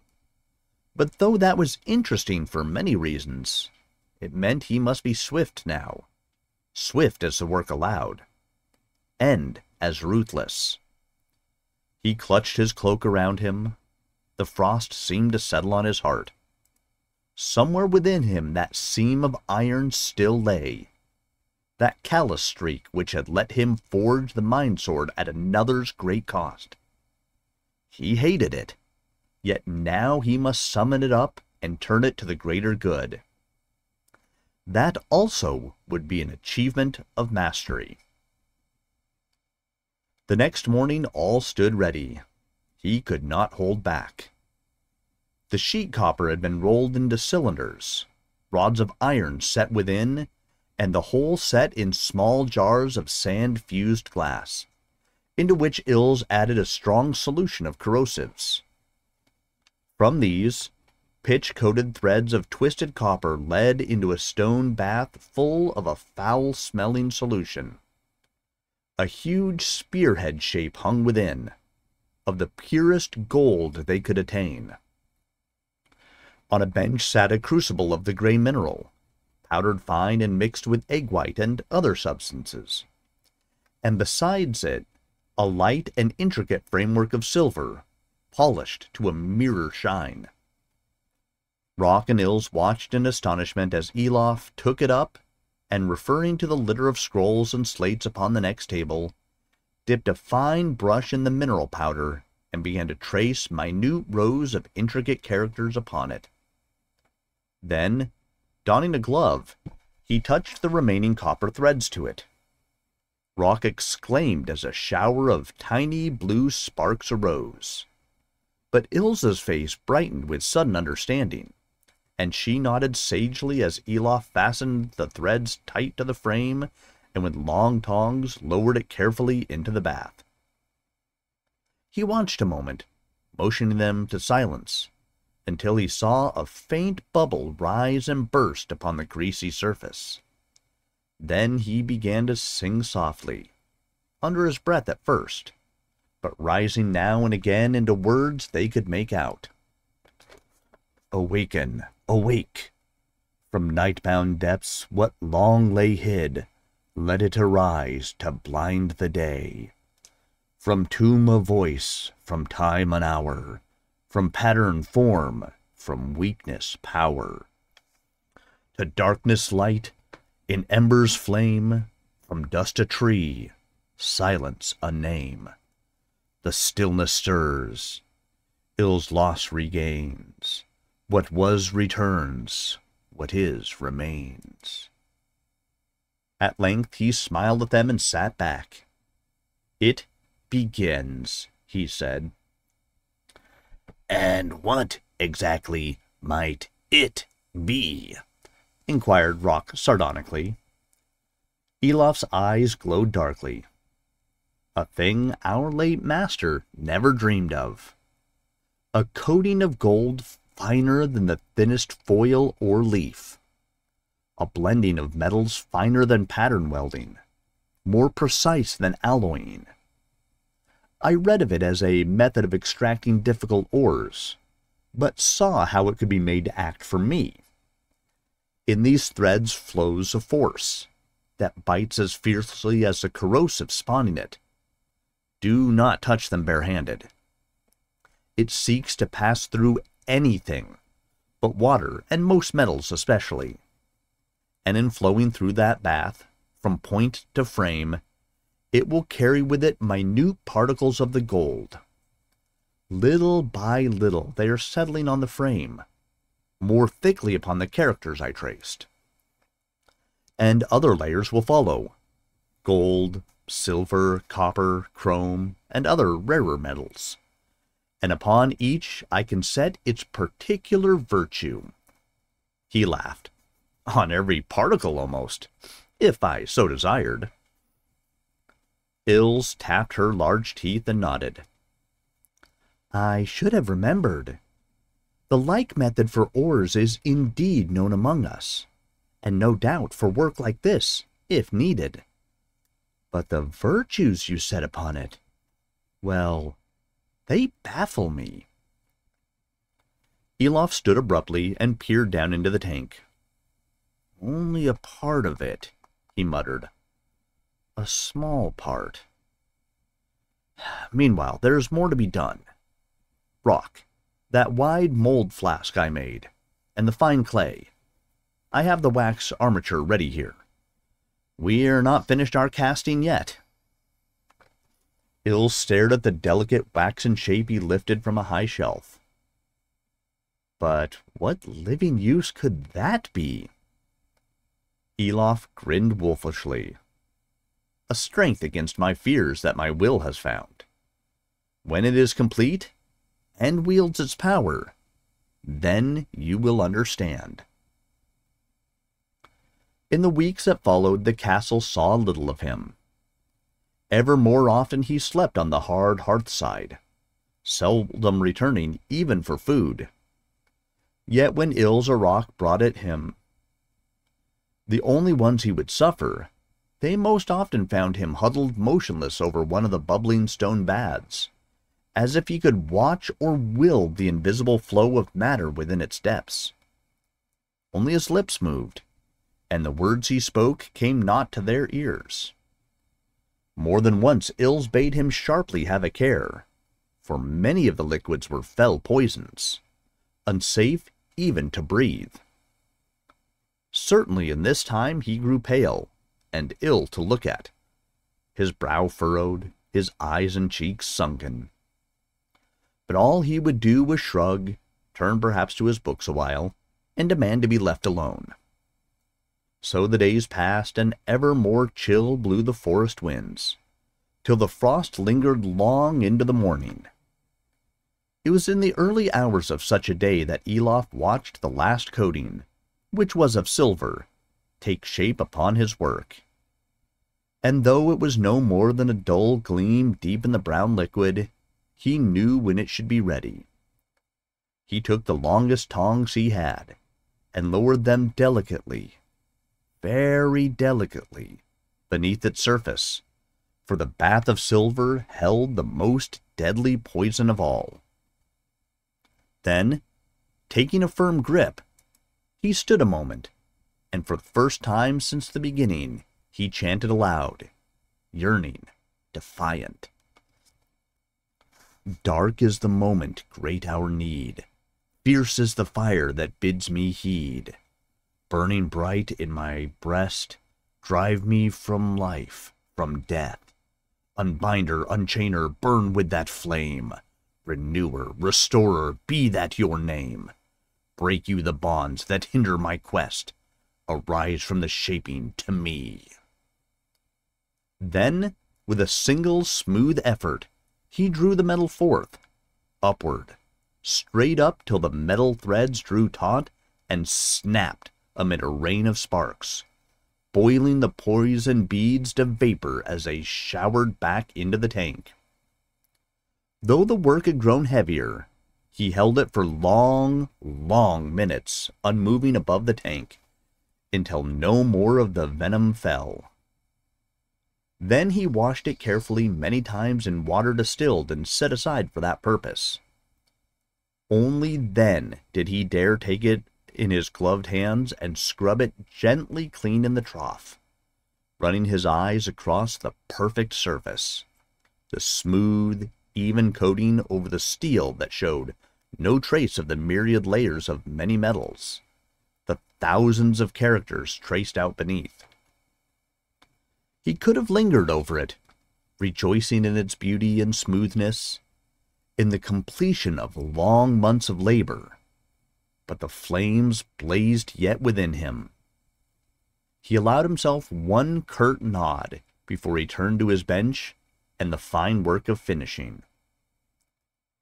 Thus, it was only that same afternoon that a message arrived at the court, to the effect that Elof would be honored if he could show Prince Corentin, and with him Lord Kermorvan, his forge, and the first fruits of his labor. Ils, who delivered the message, came puffing back up the hill to the forge, with Roc on her heels. They're coming, she gasped. Any moment, with Roc. Elof nodded. How did they take it? he asked. They seemed amused. Kermorvan wondered why you couldn't just come down. But Corentin said it was a courtesy he owed you. He likes you, I think, Elof. Elof nodded again somberly. I know. Terrace wanted to come, but I said it would be too crowded, just as you ordered, Elof. Now, would you mind giving me some warning what harebrained scheme it is you're planning? Elof rose and shook his head dismissively. Better you have no part in it, should it fail, you and Roc. And Perhaps should it succeed as well. Silence now. They come. Kermorvan's voice rang out across the clearing, and a moment later his tall outline, swollen by the fur cloak he wore, blotted the cold light from the doorway. Elof stepped out to greet his visitors, and Kermorvan stared. Caras Gate? You've changed these last few days. Since I saw you last? Weeks, rather, even months. And so have you. For he thought Kermorvan's face was fuller. The look in his eyes is no longer intense, but relaxed, amused, like a watcher at some entertainment a specter at the margins of life. But enough of that for now. My Lord Corentin, you do me great honor. Corentin smiled. Not so. You honor me, and if truth be told, I welcome the distraction. Winter is a dull time. I am leaving on a hunt tomorrow. Kermorvan promises me you can work miracles. You must be the judge of that, lord. Enter and excuse the discomfort. Corentin ducked through the doorway, as Elof had never needed to, and stood looking around him at the disorder of equipment on every side. This is a strange place, he said softly. Forces are at work here. I could sense them if I were blindfolded. You are a smith of power and craft, Elof. Elof bit his lip. Then accept this, Lord, as some earnest of your words. He reached beneath the bench and lifted an object wrapped in bark cloth. For you are a great prince, and it is fitting that this, my first work here, should be yours. The bark cloth fell away, and the others gasped. Corentin himself went momentarily very pale as the gleaming thing was lifted to his eyes. But it was Kermorvan who spoke first, astonished. That is an image of the coronet of Morvennek, he barked. How did you know of such a thing, Elof? I found it, drawn in one of the texts here. Corentin laughed, shaking his head in wonder. But why then have you set this fair thing on so rich a war helm, Smith? For I am nothing if not a man of peace now. Thus it was shown in the text, Lord. And it seemed to me right that you should have your crown so, who fought so vali valiantly in your youth for the right. But will you not don it, if only for the measure? Corentin seemed genuinely much moved. He bowed deeply to Elof, and raised the work of bright silver, tall plated helm and many-peaked crown, high above his head. The sun was falling westward, an angry bronze globe in the gray waste of sky, its long rays streaming in through the open doorway. They got helm and crown, mirror bright and set upon its patterned plates a glow of fire, tipped its peaks scarlet as they did the mountain snows, awoke white fire and rainbows from the cluster of pale gems at its brow. The light seemed to shine through Corentin's fingers as slowly and with grave dignity he lowered the crown onto his head. There for an instant it rested, framing his face noble and serene as some ancient statue. Then the eyes flew wide. A spasm crossed the features, and they twisted in anguish.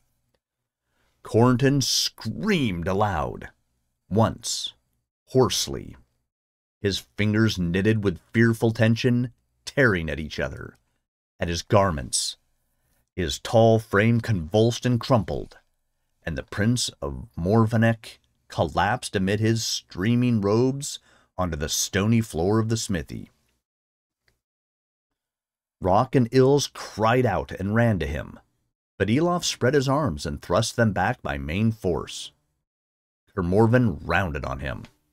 You! This is your doing. To him who has shown you so much kindness. What have you done to him? The cruelest thing I could possibly have done, said Elof, and in his voice was utter blackness. I have restored him to himself. What? Enough of your folly, growled the warrior, and plunged forward to the prince. But now it was Ils who jerked him back, thrusting him down on a bench, and so startled was he that he suffered in a moment. Elof looked down at him, his face bloodless.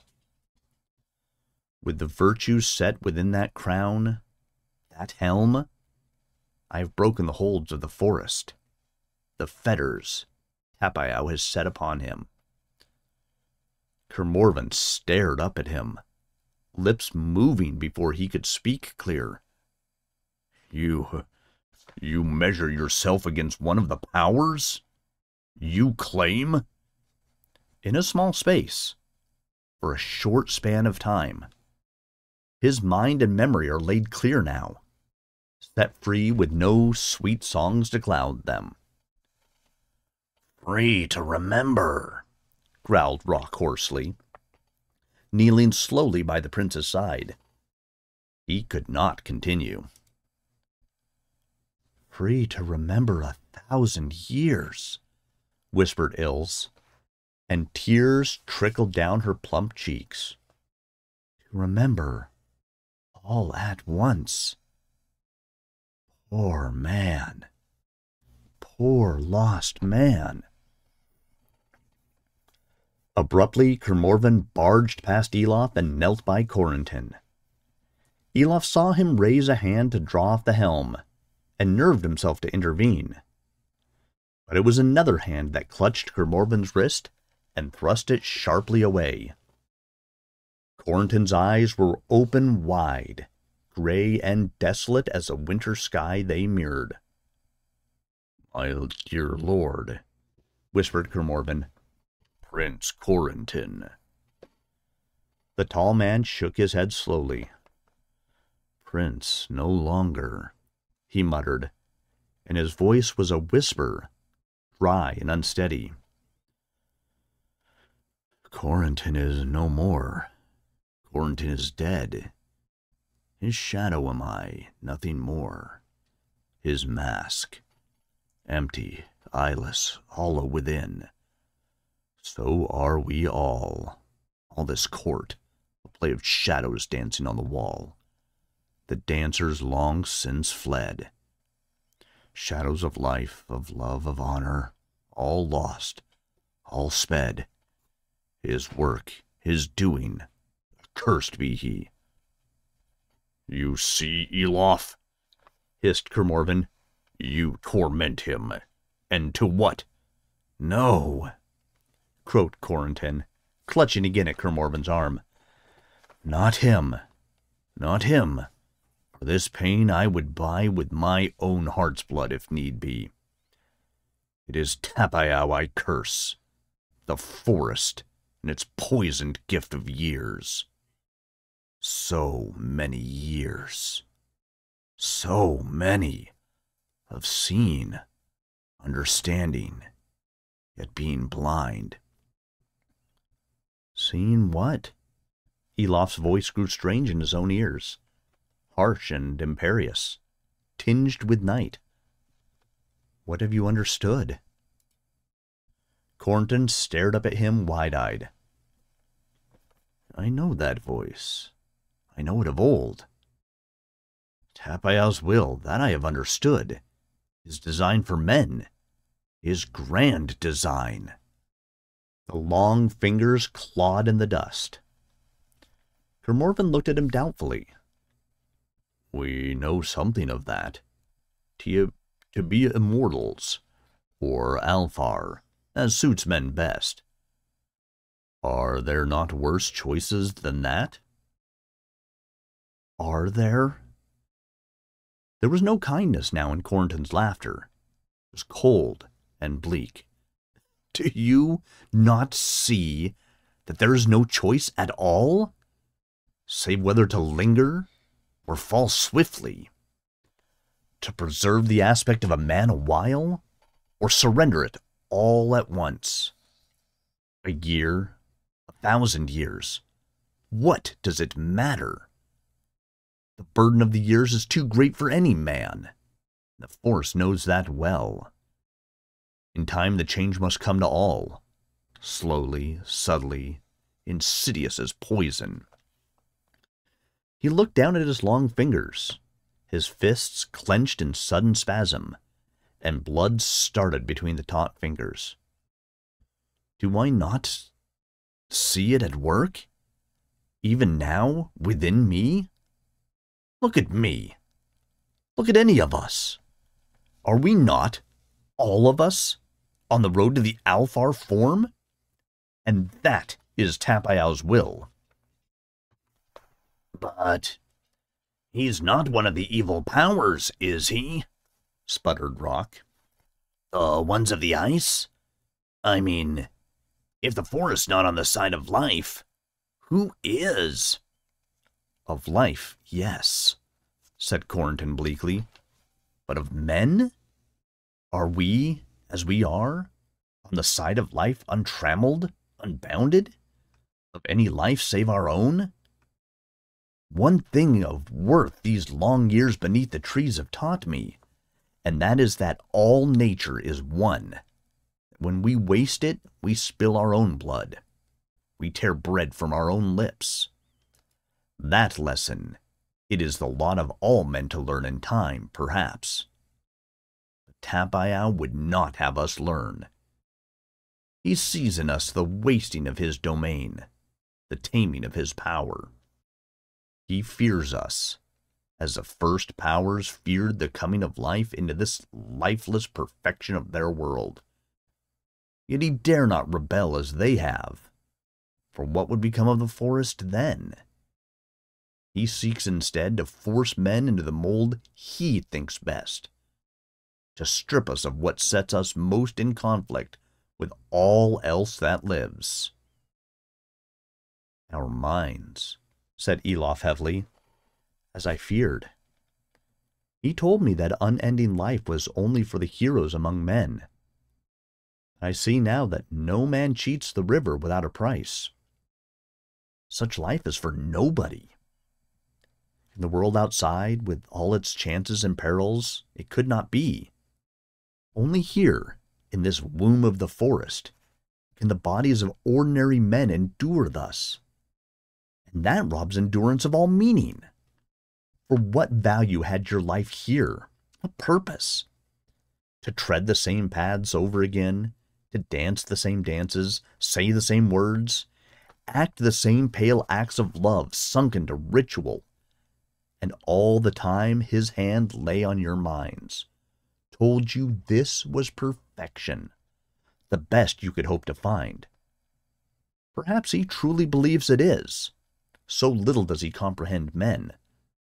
Small wonder you have all grown weary in time, however hard you fought to remain yourselves. And as you grow weary, your minds cloud, your bodies change, until you are driven to lay aside your humanity as a relief from lingering pain. Small wonder. Silence fell. Corentin drew himself painfully to his knees, gazing at Elof in growing puzzlement. But suddenly his eyes shifted, staring past the smith, out of the doorway into the mass of trees beyond. Elof moved to bar it, lest he should try to flee. But then he also saw what had caught Corentin's eye. See? croaked the prince. See? Snow falls. The first snow. Snow on the forest. Kermorvan blinked like a man awakening from deep sleep. Ay, my lord. A few flakes only. And it cannot lie long, for spring is not far off. What of it? Let me. What of it? Corentin twisted towards him seized his arm once more with a frightening urgency, and scrambled to his feet. comes every winter now. But it did not fall. Not then. Not here, even this far north. Ever. There was no snow when first I came here. Kermorvan's face grew suddenly grim. What is it you seek to tell me, my lord? Corentin stared out into the distances further than the trees. Can you not see? His voice grew clearer, edged now with a bitterness and desolation that tore Elof's heart. Why, it means that even a great power may be blind to what he does not wish to see. Means that even Tapiau may welter in his own self-deceiving. For all that he has done to us, he has done in the name of helping us, saving us, even if only as animals among other animals. But even in that he fails. Across his boundaries the dark trees of Tauna La spread, and beyond them the barrens, the tundra, that smooth the paths of the ice. The prince laughed again, and Elof shuddered at the sound. There is snow on the forest, where once there was none. And where the snow comes, the winters worsen. The ice caps lengthen. The snow line sinks ever lower.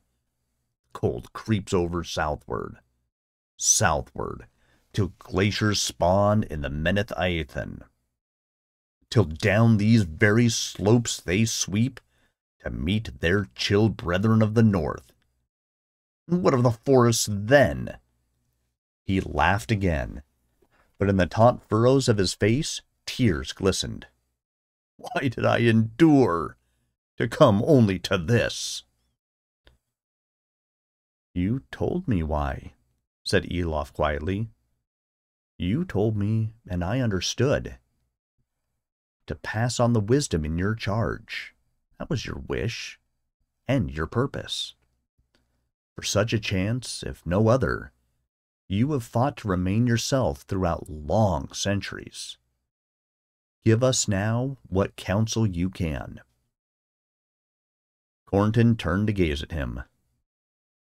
That chance you have made possible. Hear me, then, what counsel I can give in pain and haste. You must flee, and soon. At the forest margins, its power is weakest. Join one of the hunts that is being readied. The hunt for one horns, for that will turn into the forest's northern margins. Northern? asked Ils, alarmed. Is that not the most perilous way? Aye. Southward is less so, or was in my day. That is the way Lord Vade took Ase and her followers, sailing southward from Morvanik into a great bay that opens there and thence up a river and across the margins of forest and waste.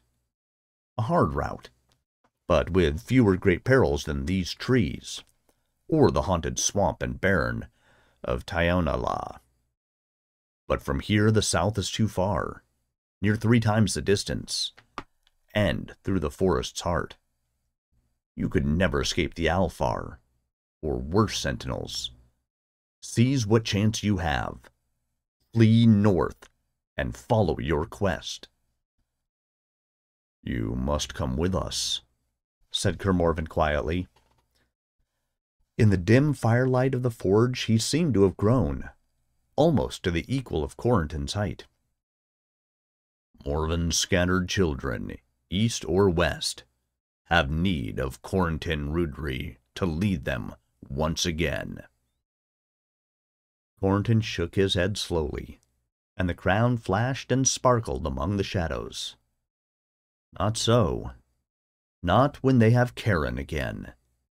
For you are more like him than I would have thought possible. Save, perhaps, that you have not yet come to believe enough in yourself. Seeing you, I could believe in truth that the river does cast us up upon its shores once again. And so, perhaps, the fear of it, the avoiding of it, is a cheat and a deception after all. that is so, then perhaps we will meet once again. But not now, for I am out of my time, strangely altered, no longer fit to wrestle within the world. That I leave to you, kinsman, descendant, brother, worthy bearer of our name, to you and these friends who follow you, valiant and wise. Do you succeed where we have failed, and my blessing upon you. Kermorvan knelt before him, and Corentin raised him and embraced him. In the turmoil of his heart, Elof stepped forward, and he also bowed his head and knelt. I ask no blessing, my lord, only your justice and your forgiveness, if you can spare it. For the deception I wrought upon you, and the cruel pain I cost you. But you know why these things had to be. Then Elof looked up into Corentin's eyes, and felt sick and faint at the torment he saw there. A mind rent asunder in its struggle to be free. I know none better, said the prince, and that same air that Kermorvan bore, of justice and judgment out of the deeps of time, seemed to settle upon him. You are clear sighted, young smith. You have wisdom and power beyond your years. You have done a deed few, if any, mastersmiths of my own time could have equaled. Do you yourself think it master's work? Unable to look away from those agonized eyes, Elof nodded. Aye, Lord, for it was as I planned it from the start. The virtues I set in it harnessed and controlled. But it cost me dear. Then for that, said Corentin sternly, as was a prince's right of old, I name you now a smith born, made, and proven, a master of your guild and mystery. Arise, master smith, and prosper. Elof stumbled up, startled, and felt Corentin's hard hand on his shoulder and for that deed I hold you quit of the ill you have done me. But hear the doom I lay upon you in requital. For you have also a gift for cunning and ruthlessness. Already it has served you ill, and may do so again. As well that you and the others should be warned. So, from this day forth you shall bear the name Elof Valentor, which may mean the skilled hand, but also the hand hidden. Bear it with honor, but do not forget the shame, and bear it with my blessing. Elof swallowed, though his mouth was dry. Lord, I will. May I never value mastery greater than the mastery of myself and the truest desire of my heart. Corentin nodded. So be it. Then he stepped back suddenly and stared out at the forest, turned all to white beneath the rising moon, and spoke softly. And farewell, all. To you, Smith, so wise, yet unknown even to yourself. You, strong craftsman, worthy citizen, you, princess of our elder kin. You, warrior who could be a king, in the full flower of your youth and strength.